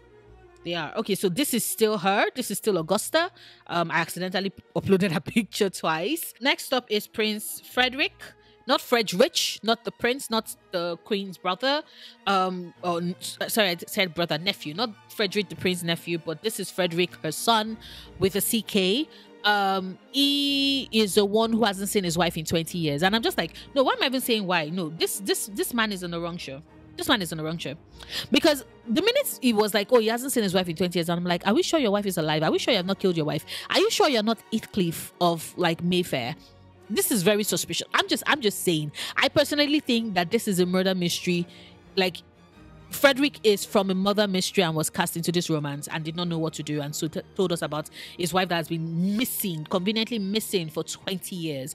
Tw- 20 years is a long time for nobody to have seen or heard from your wife, not even her kids. I don't think his wife is alive, and I think he's killed her. He should, he's in the wrong show. Next are Princess, and I'm once again putting them in why Princess Adelaide and Princess Victoria these are the two princesses that um the princess Charlotte's kids ended up marrying. I found a gif of her. She's so happy. Um, these are the ones that she ended up marrying, and she's the one that basically had a baby.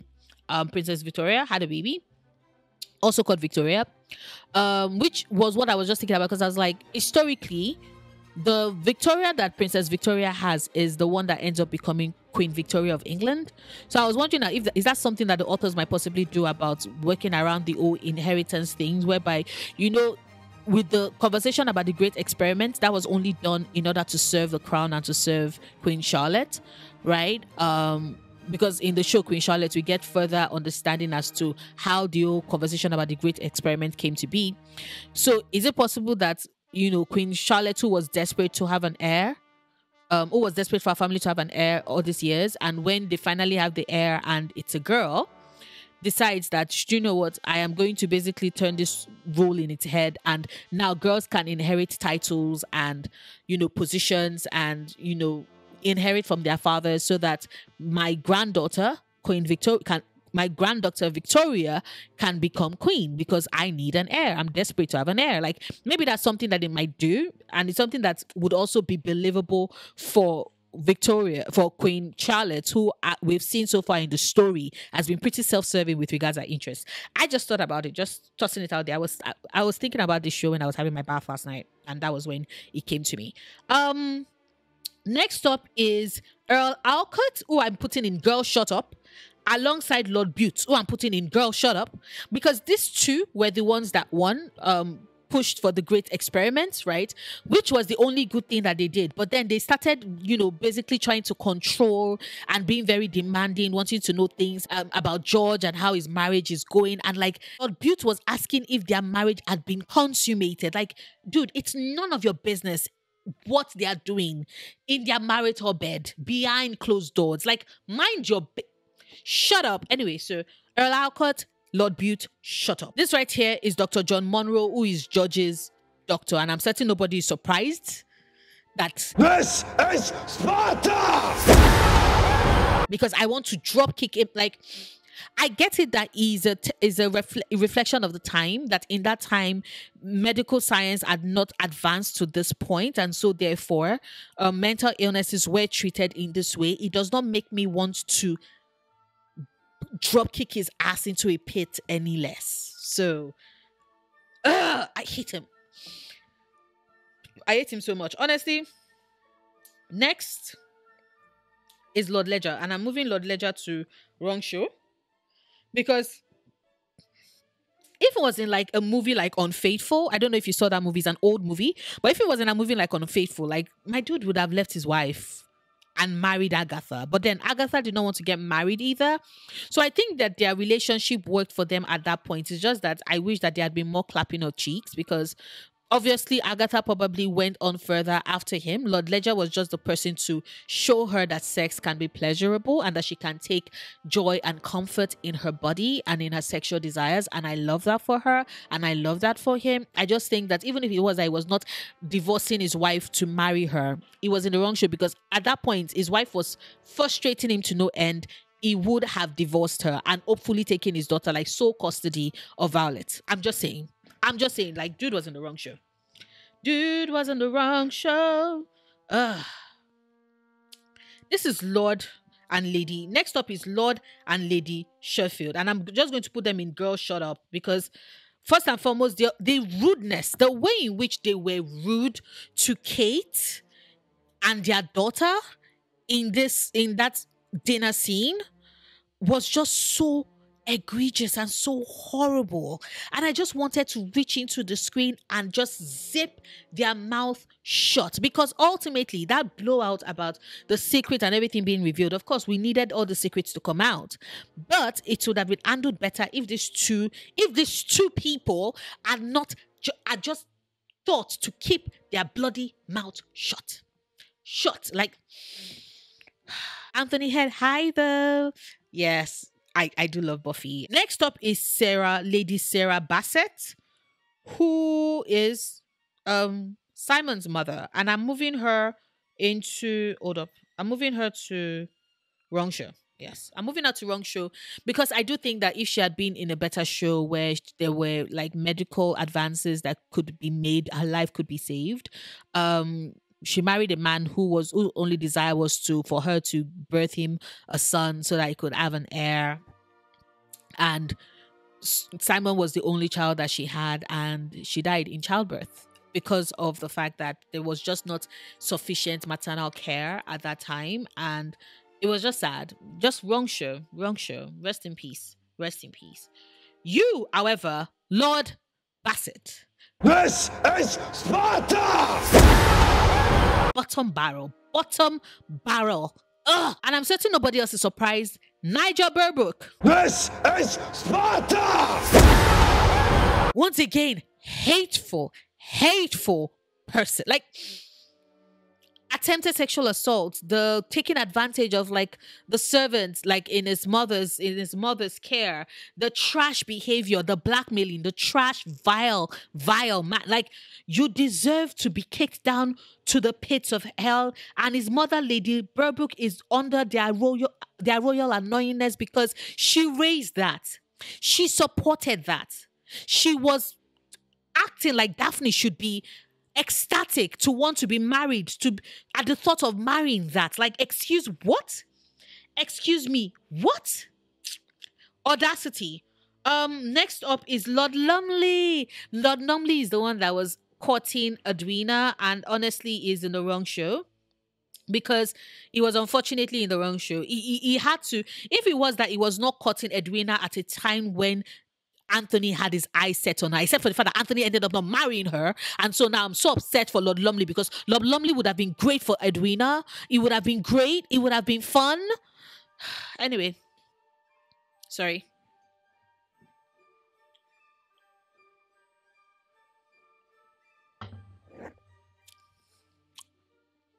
Hydrate people.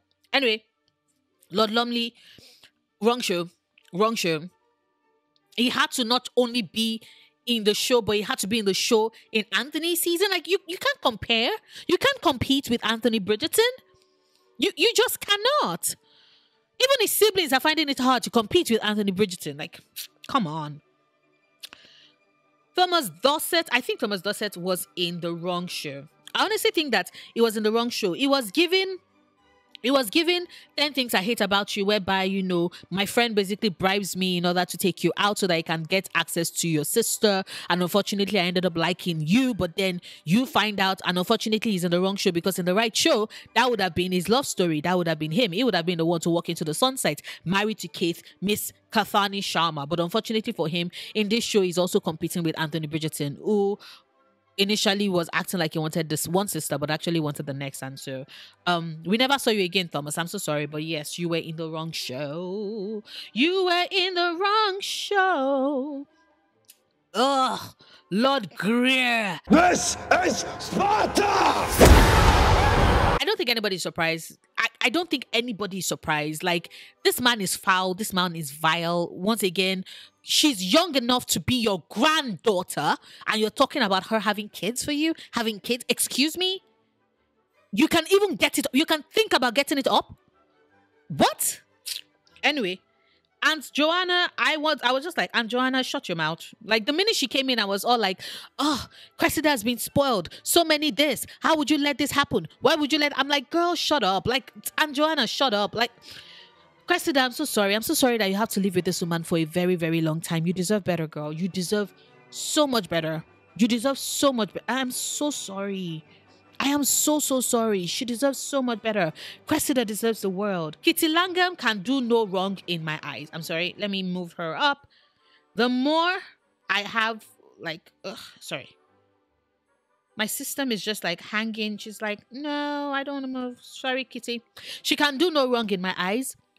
And the reason why she cannot do any wrong in my eyes because, like, think about it. This is a woman that married this general and all of that. And of course, you know, Kitty, we, we meet Kitty at Lady Danbury's um, married women's um, party and all of that. And she basically tells Daphne that, you know, I'm married to the man. I don't, I barely see him. His kids barely see him. I'm living my best life. And I'm just like, yes, girl, you can't, like, yes.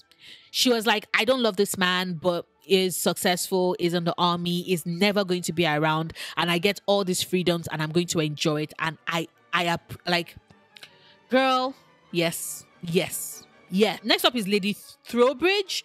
Lady Trowbridge was also at the wedding. I said wedding, sorry, the party that Lady Danbury threw. And all I'm just going to put here is that why?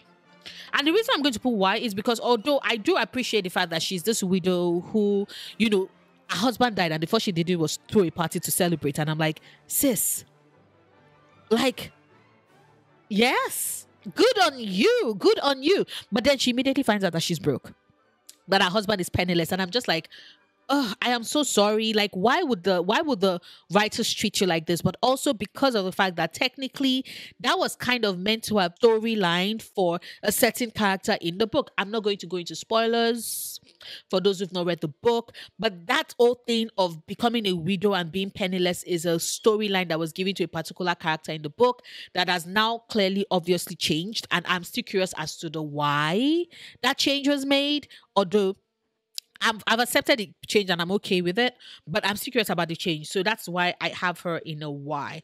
Next up, Michaela Stirling.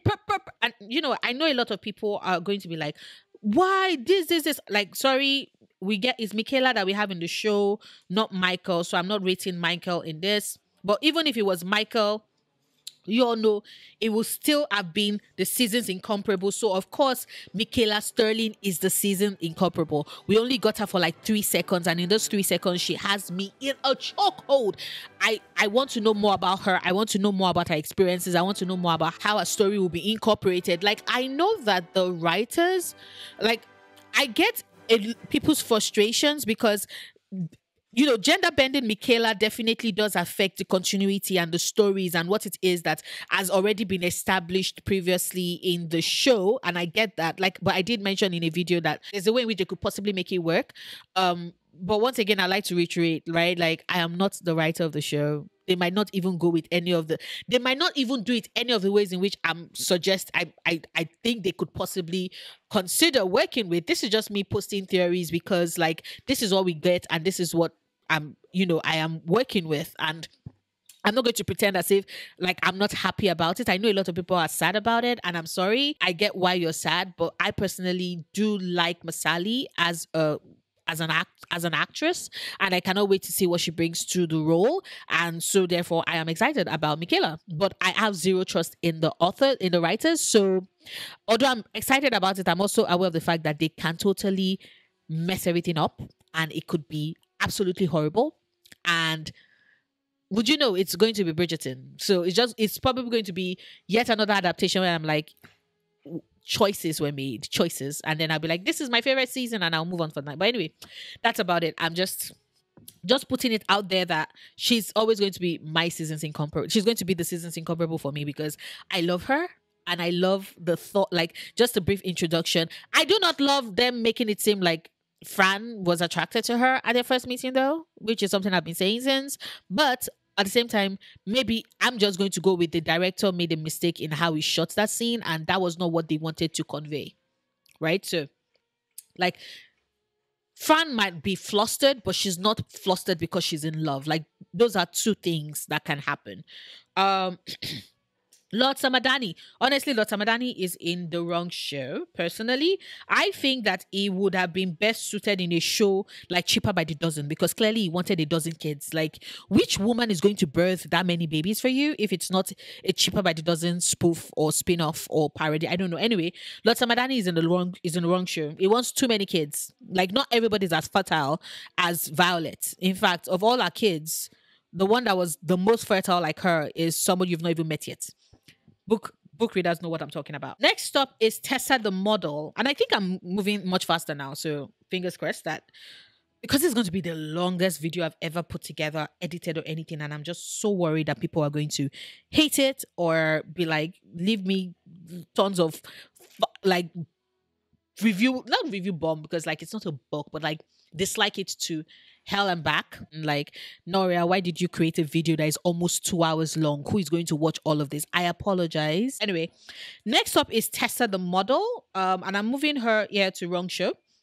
Because I do think that if she was in the right show, in a more modern setting whereby she's able to basically be an artist, be a woman and be an artist. Because by the time when Royal Academy of Arts does allow in its first female artist, I think, or student actually, I think it was like maybe 60 years after Tessa at that point. So she's in the wrong show because she's clearly a brilliant artist and the only way in which she's able to basically learn is by posing for the art students who are all men and basically you know drawing her nude body so like I said, definitely wrong show type situation. Next up is Footman John. And honestly, Footman John, you are a real OG. You're a real bro. I am going to move you. I'm going to move you up to hold up because everybody is not surprised at this. He deserves a raise. Like Footman Job John deserves a raise.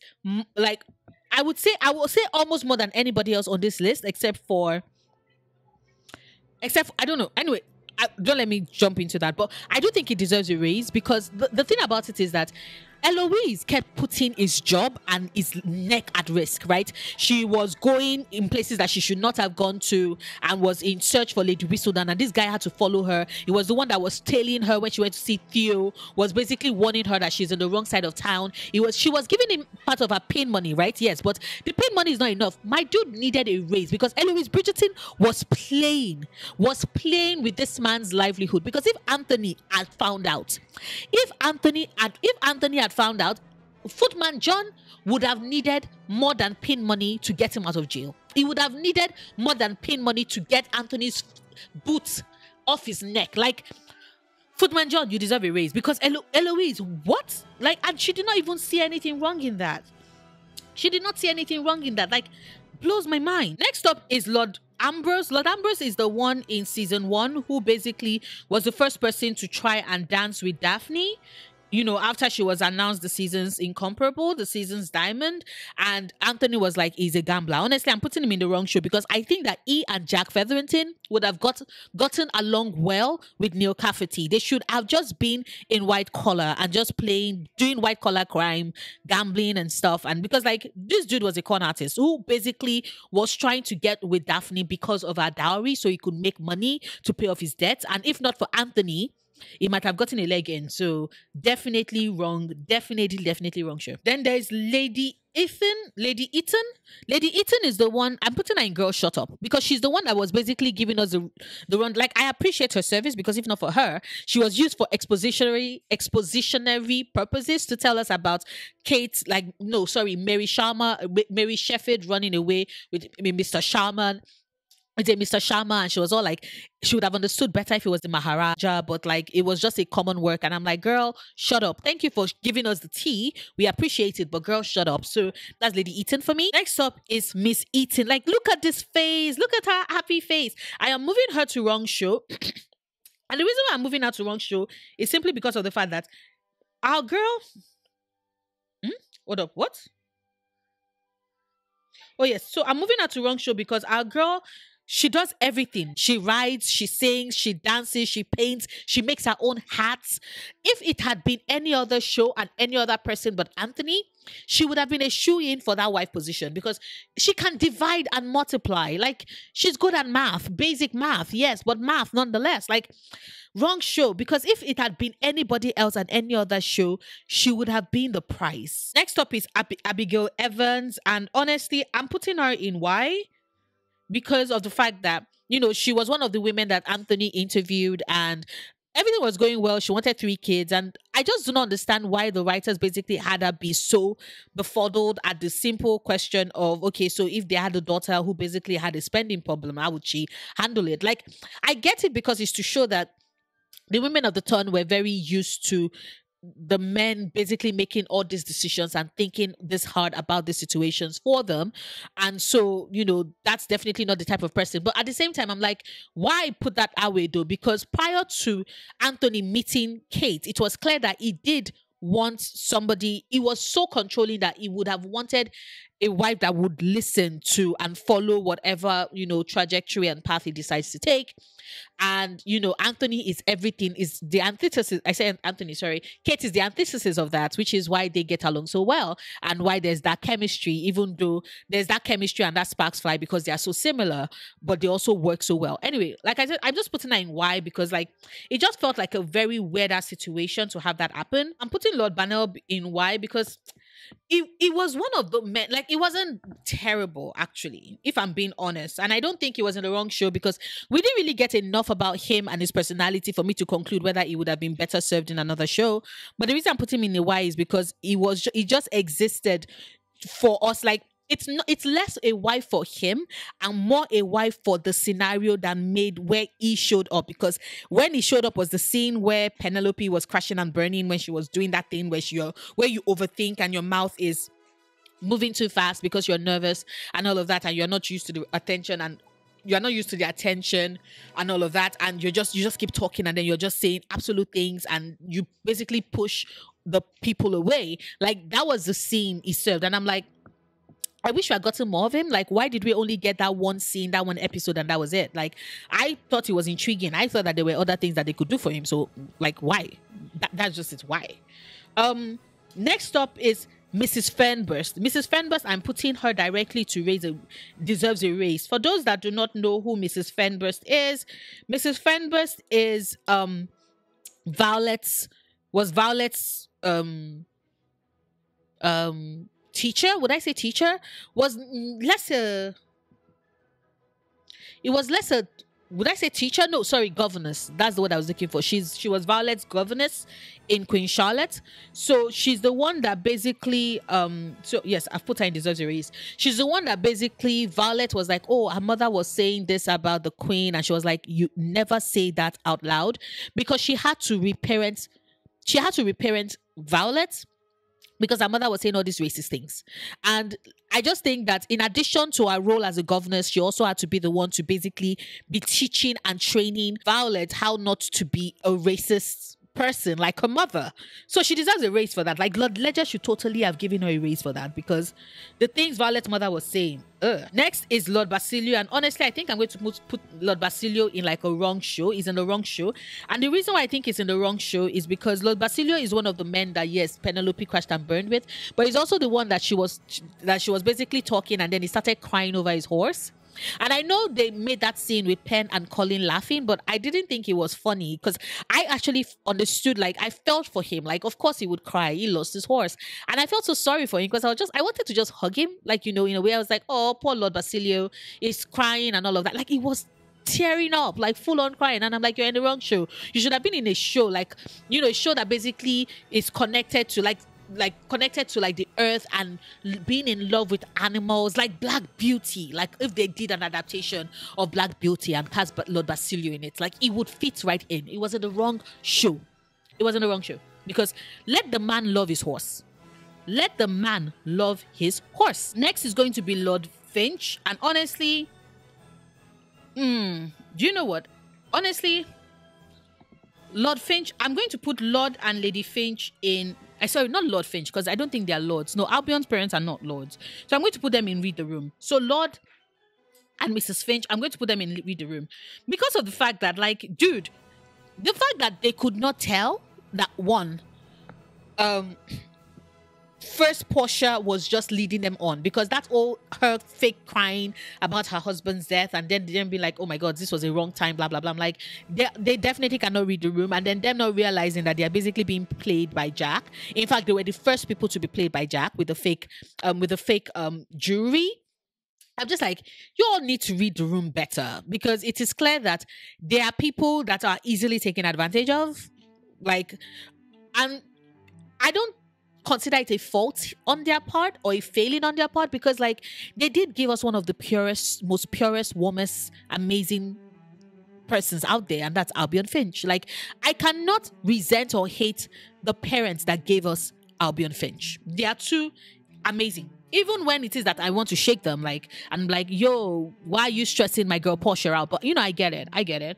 Like they wanted the dowry and they should have gotten the dowry and it would have been certain if not for Archibald. But anyway, all other conversation. Next up is look at them. This is Augie. Okay, so Augie Bassett is the son of Simon and Daphne. And just in case you could not tell, all the babies are getting are definitely can do no wrong. And I don't think anybody would disagree with me because Augie is just precious and like babies are precious like that. So um of course that it can do no wrong. Like the the same way with this darling girl, even though like I do not know why they are still maintaining that old thing of Featheringtons and their love for yellow. Um, but Philomena Finch, who is um Albion and Philippa's daughter, I am definitely putting her in Can Do No Wrong either because she's a baby and she's adorable. Um, so like th- that is pretty obvious. Next up is Oliver. Oliver is Lady Danbury's footman, the one that basically delivered the message that had her be all grumpy because it informed her that her brother was coming, like was coming to stay with her, coming to town for a visit, and was obviously going to stay with her. And she was like, "What on earth?" Anyway, I I believe that all footmans and all maids and all housekeepers are probably not getting paid enough um, especially by members of the landed gentry. So um, definitely putting he deserves a raise. Just by virtue of him being there, he deserves a raise. Just by virtue of the fact that he's probably had to witness a lot of the shenanigans between Lady Danbury and her brother when he arrived, deserves a raise. Like I don't make the rule. And honestly, Lord and Lady Fuller are I think they're in the wrong show right? Let me move them. Yes, I think they're in the wrong show. For those who are confused as to who Lord and Lady Fuller were, um, they are the the members of the town, the ones that housed or hosted that that party, the one that had the naked um the semi-naked, somewhat naked artist dancing in season four. I'm sorry, I said season four. In episode four, in season three, episode four, when um Penelope saw that and was like, oh, she wanted love, she wanted desire, she wanted passion, and which was why, you know, she was kind of like asking um, Lord Debling if that was in the cards for her. Um, so they were the ones that hosted that. It was their party, and they were the ones that were talking to Benedict and Lady Tilly afterwards. And you know, they were all like, you know, how did you like the show and everything? And they were all like, oh, you know, um, you should have kept. It, we think you should have kept your shirt on. And I'm just like, you know what? I love you. Even if you're all grumpy and you're like, people should have been more together. You're still a patron and supporter of the art, and you bring beauty to people. And I think they're in the wrong show. I think that they should have been in a show where they are basically they maintain being this rich socialites, but they basically support all the arts and um, you know, create an artist commune. Because I, I do think that I think they would do an artist commune, but they will probably put a sign that says, please keep your shirt on at all times. But I do think they were in the wrong show. I think they were in the wrong show because, like, if it was another show, they would have we would have had this kind of beautiful interpretive art like every every episode. But alas, next up is Lord Garrett, and honestly, I am putting Garrett in girl shut up. Is the one that basically told will mondrich that oh you cannot be a member of the ton and keep your and keep your pub and, and keep your bar at the same time. Like i get where it was coming from and i get it but at the same time the way in which he said it and the fact that he was he made it seem like a foregone conclusion just irked me. I like he was saying the truth of that time but it did not make me pissed any less. Members of the ton do not work and yet in that same season we confirm that Penelope is going to be allowed to keep working. Like, where's the lie? Where's the truth? Make it make sense. Make it make that's that, this, this is the thing about the writers. They just I'm gonna calm. I'm just Lord Garrett, I just want him to shut up. Because I'm just like you basically pushed set this thing in motion that eventually led to Will finally giving up his um, giving up his bar and although I understand it, the why of it, I'm still upset. Lord Goring, I am going to add to why. And the reason I'm putting him in why is because this is, he represents something for me for like everybody in the ton with regards how things with, um, with regards how things with, um, um, Jack Featherington played out because I'm like, so why did the writers basically have it be a case of um how do I explain it? Basically, Lord Goring was the member, was the one of the ton, like members of the ton that was basically asking, um, you know what? Nope, nope. I'm not putting him in why. I'm putting it in, putting him in wrong show. I'm putting him in wrong show because he's all he's still representative of the ton, but in that from that perspective, I think he's in the wrong show. I think he should have been in a show that was basically centered around different scam artists like oh different scam artists and the way in which they work and then i like i was scammed out of my family's inheritance and here is why so he could have either been a youtuber giving us a very long two and a half hour video like this one that you're watching right now and I don't know who is still watching up until this point because this is long and I feel like I've been talking forever. Um, my throat feels a bit sore. Um, but yeah, it feels like he's either going to be one of those YouTubers giving us this extra long video about something that happened, blah blah blah, or is in a I was scammed and you know this happened. So instead of punked, we will call it scammed. The many tales of Mayfair's biggest scam artists. And then it's just basically each one of them coming to tell about their tales. I'm sorry.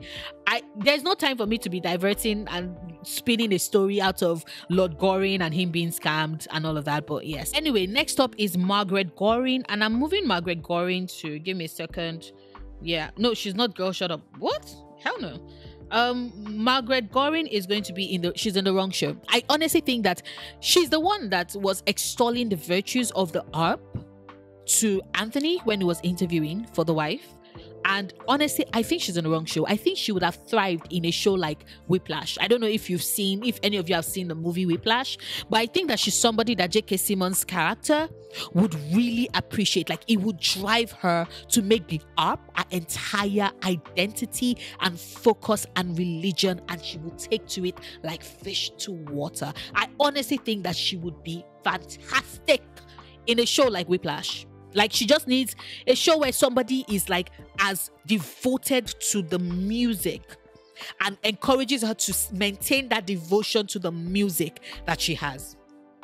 So yes, I, I, honestly think so. Next up is Baby Bridgerton, and like I said, all babies move, all babies move to can do no wrong. Baby Bridgerton is Colin and um, Penelope's son, so technically is the first, um, because technically, I would say it's the first Bridgerton, like is the Fed- Lord Featherington, yes, future Lord Featherington, but it's also like the first Bridgerton son with a Bridgerton surname because like Augie is the first Bridgerton sorry I said Bridgerton son Bridgerton grandson with a Bridgerton surname because like Augie is the first Bridgerton grandson yes but he's a Bassett um but lady baby Bridgerton is a Bridgerton so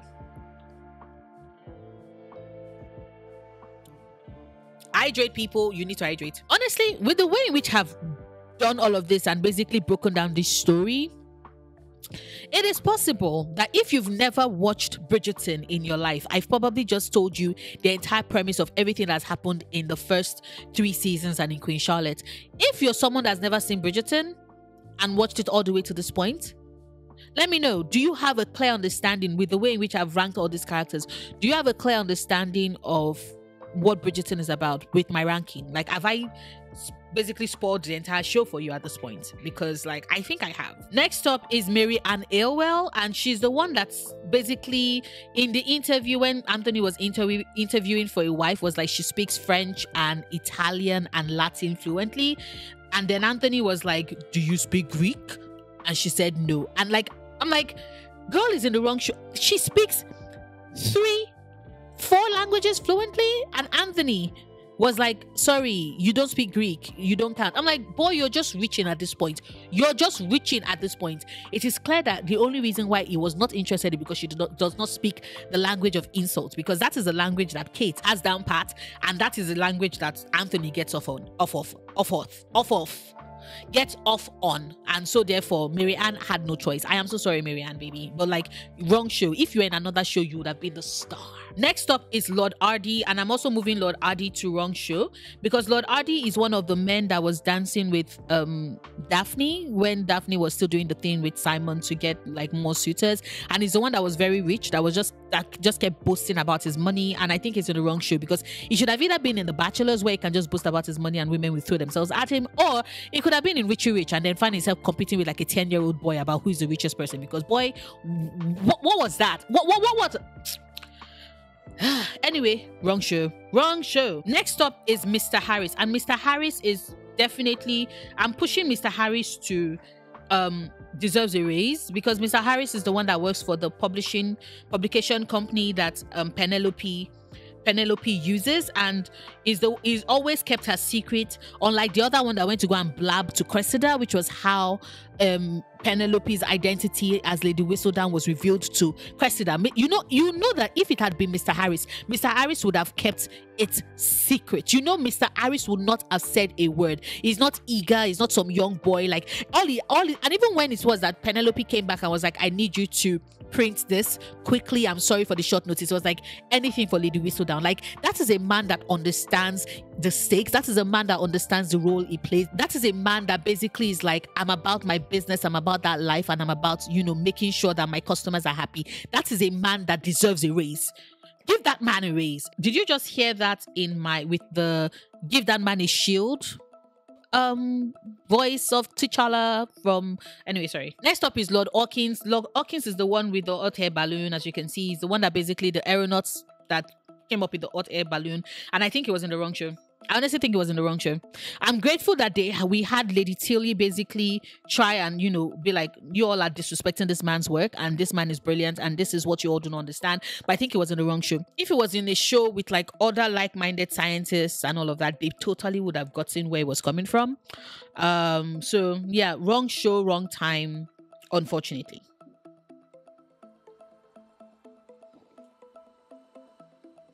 Then there's Lord Oli, who I'm just going to put in girl, shut up. Because Lord Oli is the one that came to come and meet the queen and was like, he's, he's figured out Lady Whistledown's identity and he believes that Lady Whistledown is a man and cannot be a woman. And I'm like, yes, yes, yes, yes, grandpa. Yes, grandpa. Like, shut up, grandpa. Go to bed, grandpa. Like, mm, mm, mm, mm, mm, I wish we had caught like through the scene in the crowd when Penelope, you know, was revealed as Lady Whistledown, just so that I could see Lord Oli's face because I want to be like, sir, does that look like a man to you? Sir, does that look like a man to you? Sir, does that look like a man to you? Anyway, sorry. I'm trying to speed things up because I'm reaching the point where I am so tired. And so are you. Like, I'm setting you out too. Then there's Lord Otten, who I'm also putting in Girl Shut Up because he's one of the, it was one of Colin's friends, friends, in quote. And he was the one that was all like, oh, Colin is more fun, more fun this season. And I'm like, where is the fun? Is the fun in the room with us? Because, like, Colin Bridgerton was very much fun in the previous seasons. Season three, he, he was less fun. But then again, I guess to them, him sharing all his tra- all his tales about his travels is what he considers fun. But yeah, I was just like, girl, shut up, because like you don't know, you don't know your friend, you don't know this person. Like Colin clearly is going through things this season. You just refuse to see it. So, and honestly, Minister Hughes deserves a raise. I think he deserves a raise. I think he deserves a raise because let's be honest, like how do the how do ministers get paid in the world of Bridgerton? Like I know, like for example, you can give a parish and all of that because Jane Austen does establish that in some of her stories. So I get how that works, but that is in Jane Austen's world. And I wonder if it's the same because, for example, you know, with a parish, it's the people that contribute. And I just think that with all the things that, you know, Minister Hughes has to deal with, and all the drama, right? All the oh, oh my god, this person has to get married. Some people don't even let us do the two weeks banns reading, for example, Simon and Daphne, and um, we don't really get understand how Anthony and Kate's wedding worked, so we didn't see that happen. But yeah, I think I think Minister Hughes, like he keeps marrying. Like in this season alone, he married three people. We know he married Lord Cho, he married Lord Charles Cho and my girl Emma Kenworthy. He married Colin and the love of my life, Penelope Featherington. And he married John and my season's incomparable, you know, uh, my season's incompar- incomparable, Francesca. So, like, that's already three marriages within the space of eight episodes. My guy needs a raise. Like, and if it is that he has to, like, read through everything in each wedding and, you know, he has to keep reading the bonds and all of that, and all these people are just always interested in getting married and getting married and getting married, my guy needs a raise. It's, it's not easy. I am certain it is not easy. He's not doing easy work. He's not doing easy work. Next up is Dr. Hunter, and I'm going to put Dr. Hunter in Girl Shut Up, actually. Yes, I'm going to put Dr. Hunter in Girl Shut Up because he's the one that announced Charlotte's pregnancy, yes. But when she was having trouble in childbirth, this man would have cost her her life. If not that, one, George was in the room, and two, George was like, No, we are going to do this. We're going to recreate. I, have seen this happen with farm animals. This is what we do to help ease the birthing of the mothers. I'm like, if not for George, this man would have cost us Queen Charlotte. Can you imagine? And what makes it worse is that he almost was trying to talk over George. If not that George is the king, he probably would have. I'm just imagining the number of like fathers who do not have the high rank position of a king that this doctor would have talked over them. Like, girl, shut up. You don't know everything. And George was right. Also, she went on to have 15 kids. Charlotte, Queen Charlotte went on to have 15. One and five. One and five. 10 plus five. She had 15 kids. That's a lot of kids. That is a lot of kids. Next up is Lady Keswick. And Lady Keswick, I am putting it as read the room because although I appreciate her hustle, Lady Kessel, Keswick, ah, actually, should I put her in read the room, read the room or wrong show? Actually, read the room because Lady Keswick is the is the widow that um, Lady Danbury introduced to her, her brother, um, Lord Marcus, with the hope that he would basically stop, like, turn his attention away from Violet, who is her friend, to Lady Keswick. And Lady Keswick was all flirting, and I'm like, sis, read the room, read the body language. He's not interested in you. He's not that into you. Read the room. Um, I was almost torn between putting her in that or in the wrong show because if she was in the right show, she would have been the widow getting her life, getting a man, she's getting her groove on like Stella, you know, all of that jazz. Unfortunately, there's already a widow getting her life, getting her groove like Stella and all that jazz. And the widow's name is Violet Bridgerton, not Lady Keswick. So she had no chance. And I'm so sorry. So, yes. Next one is Mrs. Kana. And Mrs. Kana, I am definitely boosting. I'm giving her a raise. For those that are like, who is Mrs. Kana? Mrs. Kana is the Mondrich's new head, um, house, the new housekeeper. The one that basically they inherited from Lady Kent. Now that Nick Mondrich is um is the new Lord Kent, and she's basically she's basically the one that was like, okay, these are the homes, this is the duties, blah blah blah, and then said, okay, you know, um, you all have to stay in separate bedrooms, and this is how it must be. And I know a lot of people be like, why would you give her a raise? That was horrible. But I personally think that the housekeepers probably have a group chat. And somewhere in that group chat, Mrs. Colson, remember Mrs. Colson, Daphne and Simon's like this Mrs. Colson? Where is she? Where is she? Yes, this Mrs. Colson. Daphne and Simon's um um former um house housekeeper i'm certain she told her she was like they were just having sex everywhere. On every corner it was assaulting my senses. Like i'm like should i not be paid damages for this? Isn't this sexual harassment of some sort? And she was like got it noted. And so sh- that was what she told the Mondriches. i personally think that as i think they have a good chat and I think Mrs. Kana was like, I do not want this to be my experience, and so therefore we're going to nip it in the bud real fast. She didn't succeed because Benedict Bridgerton exists in this world, but you know, I respect the hustle and I think she deserves a raise.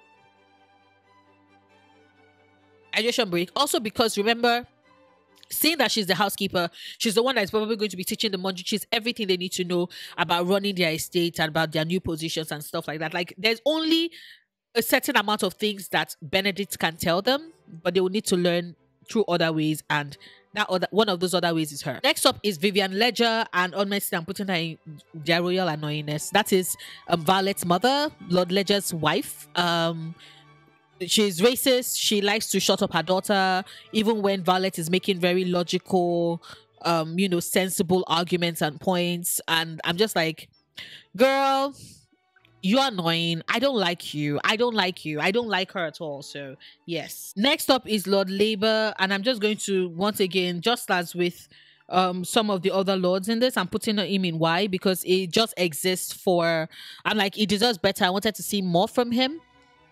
And if you all just notice a very marked change in regards the light, it's because the sun finally came out. It's been raining for the last three days. And so it's i find it apropos that of course it is when i'm about to finish my video that the sun decided to grace me with with the presence with his presence for which i am thankful. Thank you.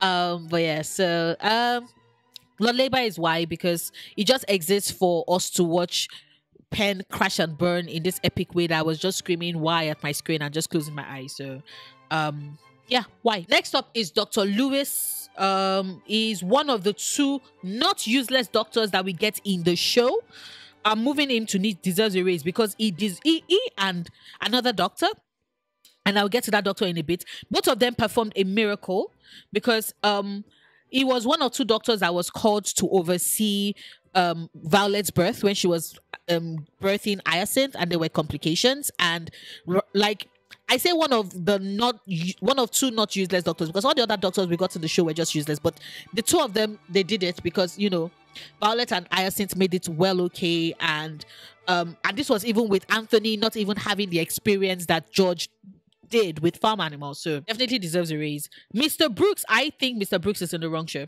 Mr. Brooks is the one, the jeweler, the jeweler that basically, honestly, I think he's in the wrong show. No, what am I saying? No, Mr. Brooks. I think Mr. Brooks deserves a raise, and I will get to the why. Right. So let me first move him to deserves a raise. Mr. Brooks is the one that basically um resized um wanted to resize the engagement ring for Edwina and then forced the ring onto Kate and gave us that whole scenario whereby Kate basically had Anthony's ring on her finger, and there was that moment, that connection, and I was like, Mr. Brooks, we thank you for your service. You deserve money for that. And then it didn't stop there. It was also the one that basically, at a glance, was like, oh, the ruby looks authentic when it was um, you know, confirming or giving some sort of authenticity to um, Jack's cousin Jack's um, counterfeit jewels. And I'm just like, it was because of him that the Featheringtons got the money because, like, if not for him, um, if not for him, Portia would not have had the idea that yo we can still market these things as real because this man is an appraiser and he could not tell at a glance that this is a fake, right? So he was the one that spurred that thought. They did all that. They did all that schemes and all of that. Jack got caught. Jack had to go off alone. Um, um, Portia got to keep the money. And personally, I think that he was responsible for both um, Kate and Anthony having their happy ever after, and um, you know, for um Portia being able to take care of herself and her girls. So personally, I think he deserves a raise, for his service. He, he has done, he did us well. He did us well in the fandom. Someone else that did us well in the fandom is Celia. Celia is Lady Brooks. She's right there with her mistress. Celia is Lady Brooks' um maid, and honestly, if not for her, basically telling Rose about um, Nigel and the atrocious way in which he was he treated the the the maid the maid he basically impregnated and all of that. Like if she wasn't the one that gave that that gossip and that the Bridgertons and their maids and their um, housekeeper basically spread around and that then got to Lady Whistledown and then it was driven out of town and thus therefore Daphne was able to avoid getting being married to Nigel. I on I, honestly I think a lot of people you know um do not give Celia the flowers she deserves because she did well for us. Next up is Miss Clifton. Miss Clifton is the girl that you know was dancing with um that John um Anthony was dancing with. Um and she kept stepping on his feet. And honestly, I'm just over here like, girl, read the room. Read the room.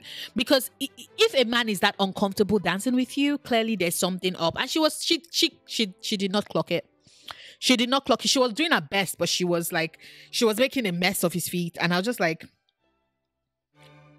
at that point, you should have been like, I'm a bit under the weather and should have just begged off and walked away. But alas. Next up is Mary. Mary is um one of the call girls that Colin goes to see this season. I know a lot of people are upset about, you know, Colin going to see the call the call girls and going to, you know, um and going to the brothels. But honestly, I don't think that is like if you're even if you're upset you can't be upset at the girls. They're just doing their job. You can be upset at Colin, but you can't be upset at the girls. They're just doing their job. And honestly, I think that she deserves a raise. Mary deserves a raise because this man came to her place of business and was not willing to get down to business and basically was like, sorry, I can't. Like, dude, if you know you have Penelope Featherington on your brain, on your every waking and sleeping thoughts, why are you in the brothel? It was just a waste of her time. And honestly, should I hope he paid her extra because she deserves a raise. I personally think she deserves a raise. Like, why show up if you're not down? If you're not down for shit, like, why show up if you're not down? Like, why? Why waste our time? Anyway, next up is Lord Corning. This is and it was so pretty too. Um, Lord Corning is was one of Edwina's suitors who basically I think should have read the room because the minute Hurricane Anthony showed up, none of these people had a chance none of Edwina's suitors, which is like I said, infuriating because he ends up not getting with Edwina, but he does like mess up every single one of their chances. So Lord Corny did not stand a chance, unfortunately. Next up is Lord Winthrop. Honestly, I'm not going to put him into this is Sparta because he's not as bad as some of the other people I had on the list, but I'm putting him under their royal annoyingness because he was the one that was basically trying to make chat like conversation with um with Marina and then she walked away because I think she saw Colin at some point and I was like, oh, she's being so rude. And I'm like, dude, she's not interested.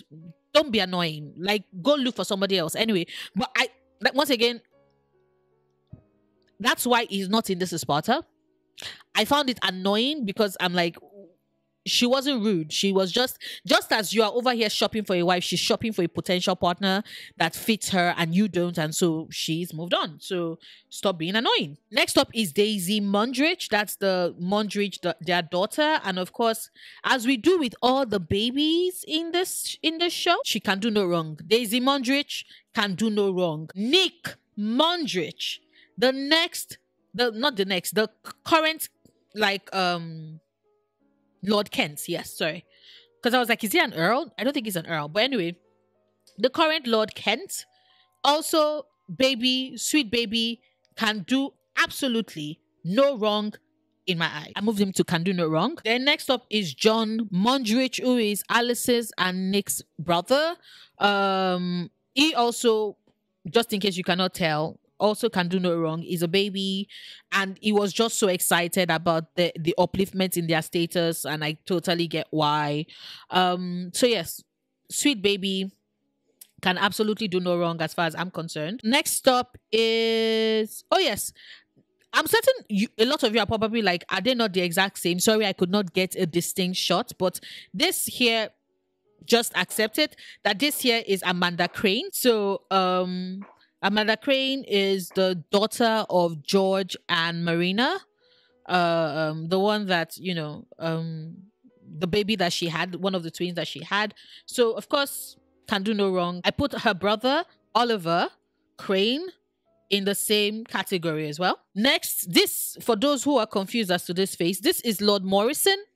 Lord Morrison is the one that was dancing with Eloise that um, Violet thought was going to be a great match for her daughter because they were both revolutionaries until he basically mentioned to Eloise that he felt that women were intellectually inferior to men and she basically stopped dancing, walked away from him and was like, you're causing a scene, you're causing a scene. I'm like, dude, you just basically called her like what?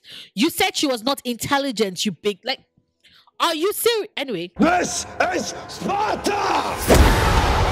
Eloise is God's strongest soldier. I would have drop kicked his ass in the middle of the dance floor. This RIP is the only dead character on this list that I just had to actually because we saw Sarah, we saw Sarah Bassett a bit when she was, you know, giving birth. So this person we never saw, which is why we have no a picture or image of him. But this right here is George Crane. And honestly, I am putting George Crane in because I think he's a very significant significant part and his story inter- interconnects with a lot of characters in the show. Um, I'm putting him under why. George Crane gets a why because, like, dude, one, wh- why would you have sex with her? Um, like, sure, we get the babies, but why would you have sex with her and not put things in play to make sure that you know somebody is looking out for her and somebody knows to look out for her like why choices choices george choices because if daphne had not written to the general on virtue of the general's wife telling her to do so and all of that we never would have found out like george what what are you doing love love love love love love and yet and yet Anyway, next up is Nelson. Nelson deserves a raise. Actually, am I putting him in? I'm putting him in girl shut up. Nelson is the only actually no, I'm putting him in. I'm putting him in. I'm giving him a raise. Because I was just like, there were things he said, and I was like, I wanted to say shut up, but at the same time, I have to consider the circumstances and the situation within which he made those statements. And so, yes, I'm, I'm putting him under get a raise For those who are who are curious, Nelson is the one that um was the maid serv the man servant, the one that basically came to meet Anthony after Edmund died, and was like, okay, you're now the viscount um, do you want the key to the study? How do you want to announce this information to the villagers because they are going to want to know? Um, I'm going to be moving your mother's things out of out of your rooms now. You know, basically all of those, these things, and you're like.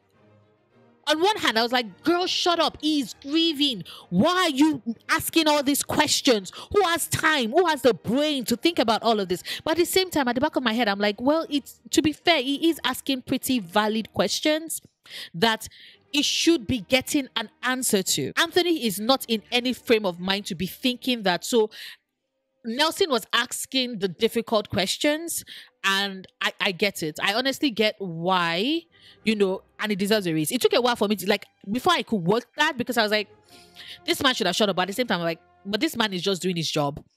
And if he did not like do his job, a lot of things would have floundered. So he was kind of right in that in that regard. Next up is Newton, the corgi, the Sharma corgi. I'm certain nobody is surprised like where I'm going to put this good, good, precious boy because it's it is Newton.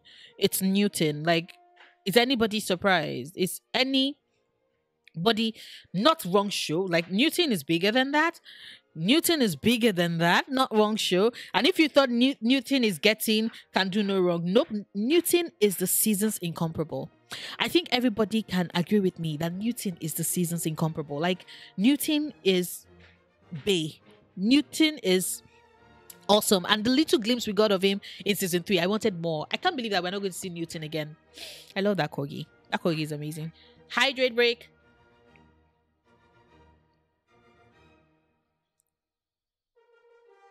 It's not as cold as when I started filming this. Next up is this dude over here that could not keep his mouth shut.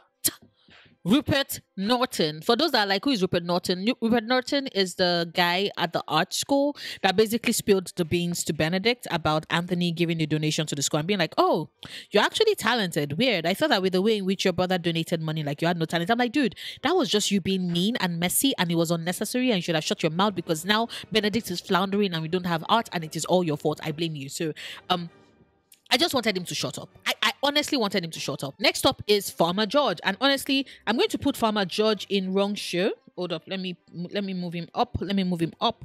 I'm going to put Farmer George in wrong show because I think he's in the wrong show. I think he should have been in a show where basically that's what we do. We just basically see him farm and then discover interesting innovative farming techniques that he's able to delight in because for those that are unaware who Farmer George is, Farmer George is the one in the in Queen Charlotte that George basically the farmer that George basically hangs out with.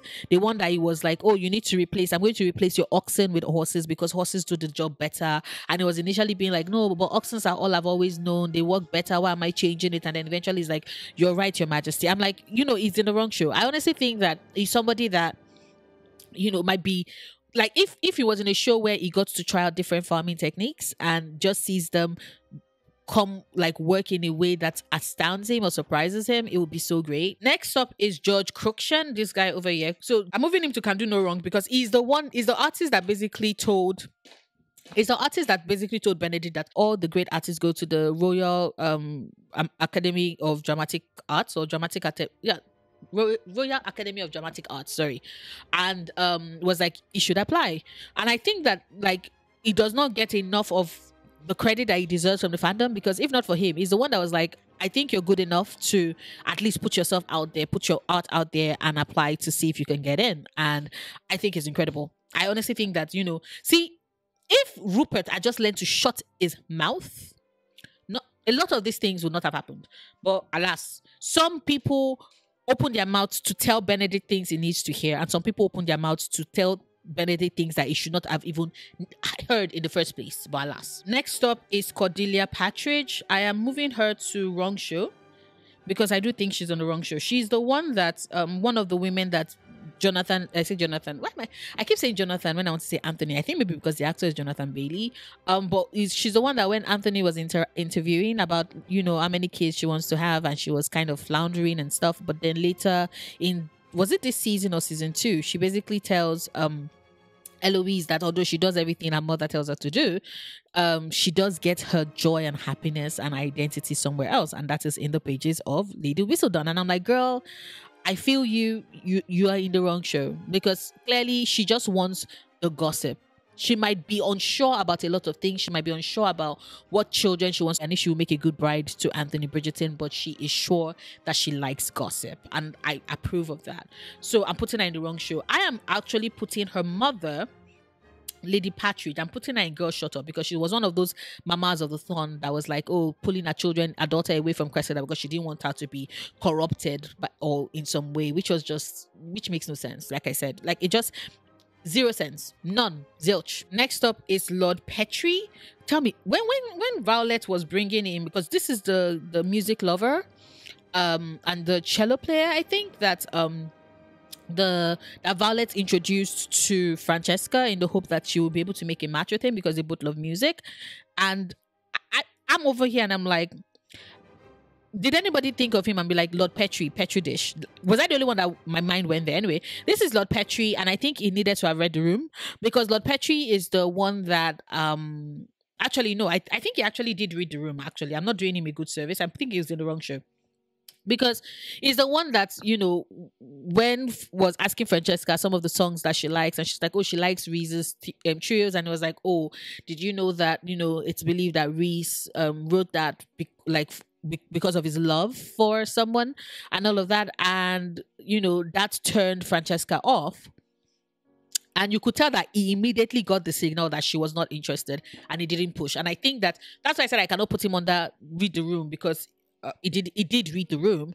Um, I just think it's in the wrong show because if it was in a show, the right show, and it was the lead, that would have been a great way to connect about emotions in music, and then it would have found like musical love somewhere with the woman of his dreams. Unfortunately, the woman of his dreams is not Francesca Bridgerton. Next up is Lord Cutbill. Lord Cutbill needed to read the room. He was one of the people that were like you know pushing forward and hoping to hopefully get Francesca interested in him, and she wasn't. Um, lost in the time. Actually, to be fair, it's like at this point, I'm going to move in from read the room to why? Because like why? We didn't need all these people. We we get it. She's considered a catch. We get it. But all these men that just showed up for like two seconds and we're like none of you are relevant. Go away. Like why are you here? Next up is dominic danbury and this is lady danbury's son the one that you know was the reason why everybody was like okay are we going to inherit? Is your son going to inherit his father's title now that he's passed? Because lord danbury was the first of the elite peerage that died after the great experiment when their titles were conferred on them.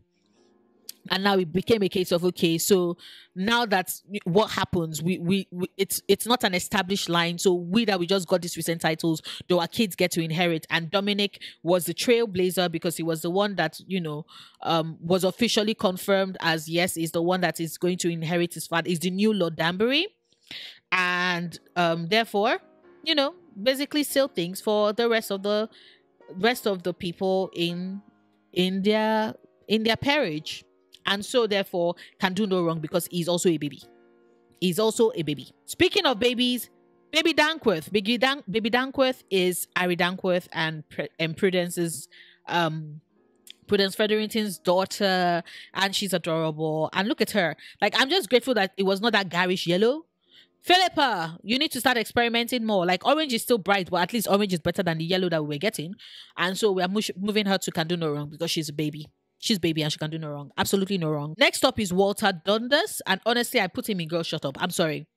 Like, I know some people were like, yeah, they were hoping that Portia gets caught. I was like, I do not want Portia to get caught. And this man was annoying me. It just came, it just came, kept eating like stuff in their houses and then just saying horrible things. And it just felt like it was taking the light and the fact that he caught her in its trap. Of course, Penelope now coming out and like she told her mother, she's like, you can tell him that this is where the money came from. It came from me. I have been leading Whistledown all this while. I'm like, ha ha ha ha, you have been caught. Also, now there's an S, so ah, the Featherington line is still secured. But anyway, as I was saying, I just wanted him to shut up, and I was grateful that you know because it just it brought this level of tension because I did not want Portia to be caught, and I know there are a lot of people that wanted her to be caught, but I was not among those people, and so therefore every time he showed up on screen and he was he started yapping, I just wanted to zip his mouth, zip his mouth, like. Boy, bye. Next up is Sasha. Sasha is the second sex worker that Colin was with. As with Mary, I think that she deserves a raise because once again, Colin came and was playing in their collective faces with regards what he wants and what his desires are. And I'm like, dude, you should have figured out that who you want is Penelope instead of wasting this busy women's time. So I think they deserve a raise. They should have gotten a little bit extra for the work they had to do. Next up is Lady Smythe-Smith and her husband. And honestly, I just think that they can do no wrong personally. Um, because of the fact that one, they were the ones that, you know, um, they were the ones that basically set things in motion because it was them coming together. And of course, we're not going to talk about Lord Danbury, but it was them coming together that made Agatha realize that her son's line is not secure, her son's inheritance is not secure, and there's still the the issue, the problem of is he going to inherit now that his father's passed? And so it was Lady Smith Smythe, Smith Smythe. Oh, sorry, it was Lady Smith Smythe and Lord Smith Smythe coming and leading the charge to press Agatha with regards this question that made her start actually considering it. And I honestly, I think that, you know, they can do no wrong in my eyes. Plus, they do um, produce quite a number of musically challenged girls. If you read the other spin-off stories, you'll be able to see. Um, But yes, they raised the most musically challenged girls, and I would I would always appreciate and love them for that. So next up is Lord Stanley, and Lord Stanley I am putting in Read the Room because he was one of the many men that thought that they had a chance with Eloise, and I'm like, read her, read the room, read the body language. She's just not that interested. She's not into you. Keep it moving. So, um, yeah, read the room. Next up is Lord Stanton, and I'm putting Lord Stanton in. This is Sparta! Why? Because of the fact that one, he was one of the men, he was one one of the men that actively laughed at Penn in her face, in her presence to her face, when the news broke about, oh, you know, she asked Colin for help in finding a husband. He was also one of the people that felt that Colin could do better than Penn. Um, he had all those unnecessary opinions about Lord Debling's vegan ways. I'm like, who asks you? Who asks for your opinion? Who cares what you have? Who cares what you have to say? And finally, he was the one that basically referred to Cressida as all Elspawn when the news broke that she is Lady Whistledown. And I'm like, I'm just upset because one, Cressida did not deserve that, but also by extension, that means he's calling Penelope the true Lady Whistledown Hellspawn. Is always going to be down in the pits, as far as I'm concerned. Next up is Allan Ramsay. Allan Ramsay is one of the one of two royal portraits artists that we meet in Queen Charlotte. I say two because it's important. Um, Allan, I think deserves a raise because is one he had to draw Charlotte without he had to draw the royal royal wedding portrait without the king being present. And then even whilst he was doing that, he still had to basically have this be right caught in the middle argument between Queen Charlotte and Princess um the Dowager Princess Augusta, who basically wanted her sorry, I'm moving this to Desiree, who basically wanted her um her daughter-in-law to be painted lighter right? Because she didn't want to show her skin so dark. And charlotte was like no paint my skin the color it is. And princess augusta is like no you're going to leave it light. And i'm just like let give this man a raise and let this man do his job. Like wh- why are you all stressing the poor artist who just wants to do his job and earn his keep? Next up is henry reed. Henry reed is um lord danbury's um lawyer so uh, he's the one that Agatha came to meet after Lord Danbury had passed, and he, he was the one that he informed her that oh, her husband basically has spent all their money and she's basically penniless because of the fact that an elevated status meant that he was spending more to suit that status and all of that. And when she was like, What is she to do? This man was like turned to the benevolence of a male relative or remarry. And I'm like, shut up. Shut, shut up. Like Next stop are Reggie and Tom. And honestly, I'm this is going to be controversial, I think. Reggie and Tom are the ones that um are the ones that no actually I don't think it's going to be very controversial, but Reggie and Tom are the ones that basically um Archibald set gave a uh what's gonna call it, gave a placed the bet with with the house, and then they realized that he had basically conspired with Will to throw for Will to throw the match. So that was how he made a lot of money off of them. And they basically had him killed. And I think that they were in the wrong show. They they would fit, they would go perfectly well in like a mafia show. I honestly think that they would go great, fantastic, brilliantly well in a mafia show.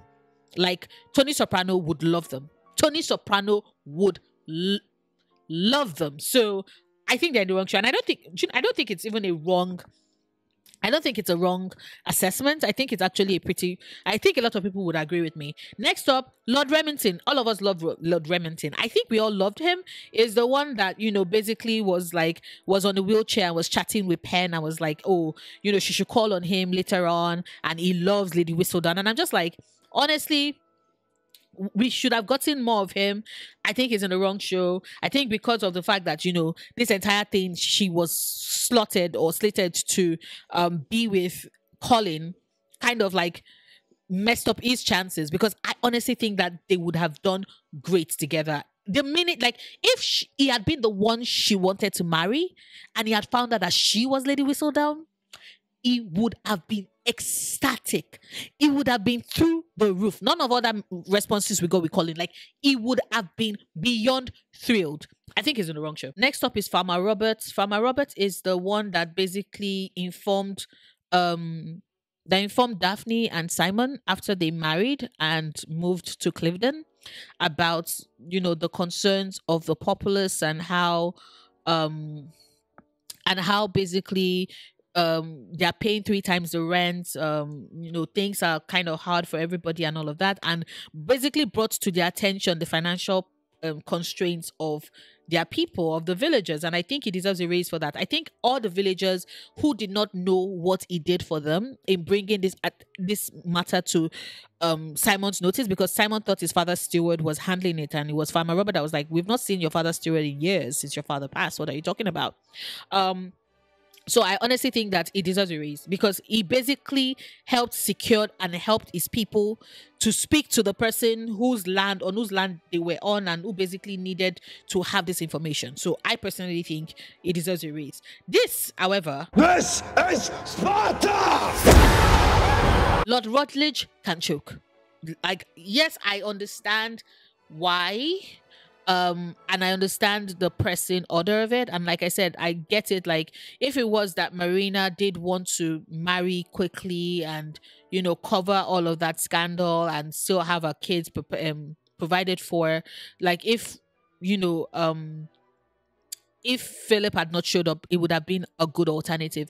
I just that scene where he was checking her teeth and touching her like it was examining meat examining meat i wanted him drop kicked down to the depths of hell. So yes. Then there's Paul Suarez, Lady Tilley's friend, the one that basically gave us um Benedict's that confirmed, secured Ben's pan awakening. I think he's on the wrong show because honestly, um, you know, he needed to be in a show where he can basically explore everything he wants to the fullness of what he wants and who he is. And I don't think Bridgerton is the show for him. At least not at this time. Um also because I I don't know if he would have loved or if he was falling for Benedict. Like none of Benedict's partners have been positioned as falling in love with him. It's more of a Benedict Bridgerton just has so much love to give, and so they come and pass through his life in that manner. Um, but yes, I do think he's in the wrong show. I wish he was in a show where he can be the main center of his story, somebody that loves art, that you know occasionally has sex with his best friend, um, but he's also looking for a third and a way to um draw have a closer connection and bond. I honestly think, you know, it could work. Next is Lord Thompson. Lord Thompson is the girl shut up. Like he has to be. He's the one that was dancing with Daphne and basically was telling her that, oh, his mother, when he marries, his mother will move into will move into the their home, like his home with his wife, and that his father suggested it. And I'm just like, boy, what what are you saying? Like, shut up. You're never going to get married this way. Shut up. Nope. Nope. This is not going to get you anybody interested in you. Just shut up and keep it moving. And then this is Dr. Walker, the second doctor. Remember the second doctor I talked about, the one that helped with the birth of Hyacinth.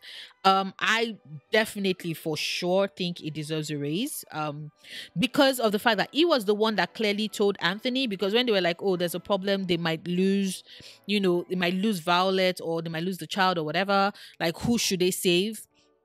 And Anthony was on because I repeat is dealing with the grief. He's the one that was like, "We will save. I will save." It like he made the promise that I would save your mother and your sister, and he succeeded. Like one of the few not useless doctors in the entire course of the show. Give him a raise. The man has earned it. The man deserves it. Then there's Lady Wallace. Lady Wallace is just going to be in Girl Shut Up because she's the one that was talking after the cancelled um, wedding between Edwina and Anthony. I was like, she wonders why it was cancelled. Edwina cannot possibly do better by a vi- than a viscount, and I'm like, girl, shut up. Also, it's is Kate is going to do the viscounts. Edwina is going to do someone else. So like, mind your business and shut up. And then we have Lord Weaver, one of Daphne's suitors, the one that was dancing with her. Great dancer, but very boring. The one that was an absolute snooze fest. And I was like, dude, read the room. You don't stand a chance. There is no way after she just finished laughing and chatting and kicking with Simon, she's going to be in any way chatty. Like you're going to be, you can compare as a conversationalist. It's just not going to work. So Um, I say read the room. And then there's Benjamin West, the second painter. Remember, I said that there were certain royal portrait painters, two of them. Benjamin West is the second one. And honestly, I also think he deserves a raise as well. Because in Queen Charlotte, it was his responsibility. I'm trying to move him because ugh, it's so. Uh huh. Oh yes, so we're moving him to deserves a raise, because in Queen Charlotte, it was his responsibility to paint the royal portrait of Charlotte with her kids, and it, when she was you know, because her mind was all focused on she needs she needs babies, she needs heirs and all of that, and she leaves annoyed, and then her kids also leave after her. And Brims and she wanted to pack up because it's like, okay, like my subject has gone. And Brimsley was like, nah, the queen is still seated there, her kids are still there. You need to continue drawing. And my guy had no choice but to draw, even though his subject have gone. Like they are not there anymore. That man deserves a raise. That that like just for that emotional torture that Brimsley put him through, he deserves a raise. Then we have Miss Weston. She was the one that he was dancing with, one of the women he was interviewing and dancing with. And I'm going to put her in um Can Do No Wrong. And I would explain why I'm giving her Can Do No Wrong. I'm putting her in Can Do No Wrong because even though she did do wrong, because she was a horrible dancer and she was the one that just kept missing her steps and like the last person that Anthony danced with and then got so upset and left the ball to go outside to the courtyard which is where he was talking with his friends. And then you know kate was following him sort of following him. And then she overheard and then they had their second meet. I think that like if not for her they might not have had their second meet at that point in time. So i personally put her in Do No Wrong because she kind of helped my ship. She kind of helped Anthony set sail. She contributed immensely to that. So, sis, you might have been a horrible dancer, but you were a perfect matchmaker. And for that, I thank you for your service. And then there's Lord Whiting. This piece of this asswipe. Um okay, it's not as bad because maybe it's just one thing he did. No, actually, I'm still putting him here. This is Sparta! He's the one that was with his friends and then told Penelope, unprovoked and unasked, I was like, Oh, are you looking for someone else to help you find a husband? And they all laughed. He was the instigating incident for that particular scenario. And I still want to drop kick him down a boulder somewhere so he can be lost forever to time. I detest this man. But now we're making it to, you know, the final set of things. So here, I'm putting Julie Andrews, but not Julie Andrews. I'm just saying that her voice as Lady Whistledown because it's clear that we are never getting her again now that um Penn has come forward as Lady Whistledown. So it's probably Nicola's voice will be hearing moving forward. But I am moving um, Julie Andrews's Lady Whistledown, the voice. And at this point, I'm certain nobody is surprised at where I am going to, where I have plans to put her, because like, of course, um, I am putting her as the seasons incomparable. You know, so right here because she's fantastic, and I would forever miss her voice as Lady Whistledown. I would probably rewatch a lot of the old, not re- probably. I will be rewatching a lot of the older series just so that I can hear, I can keep hearing her voice. Um, and then there is this Simon's tongue. I brought this back from my old ranking um, because, of course, I am going to rank Simon's tongue. It is exquisite and it is of course the seasons incomparable because that tongue was what got me consistently watching Bridgerton. Like after season, like I was like, uh, well, you know, it's okay. And then that tongue came out, and I was like, I am in for the long haul. Thank you. Anthony Sideburns. Whoever thought I was not going to include this in it? this is Sparta! Yes, I need that. I need the sideburns to die, to die several deaths several deaths. And I like some of y'all like it, good for you. It can never be me. It can never be me. And finally, Daphne Bridgerton's. This is Sparta!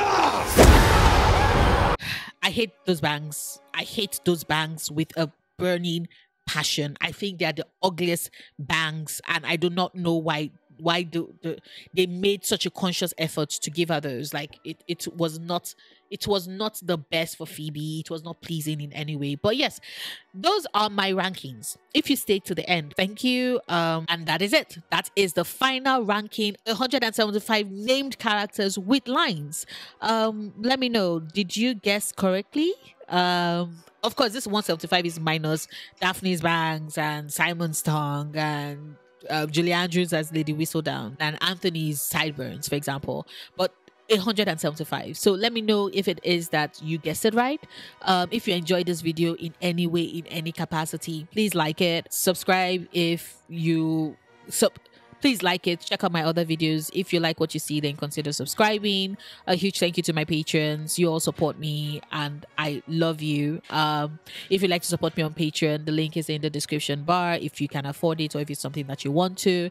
I make new videos three times a week Mondays are for anime manga, Wednesdays are for movies and TV shows, and Fridays are anything I want really. New videos drop at 5 p.m. EST. Whilst you wait for my newest video, if you have not seen it yet, then maybe you might consider checking out my last Bridgerton ranking video.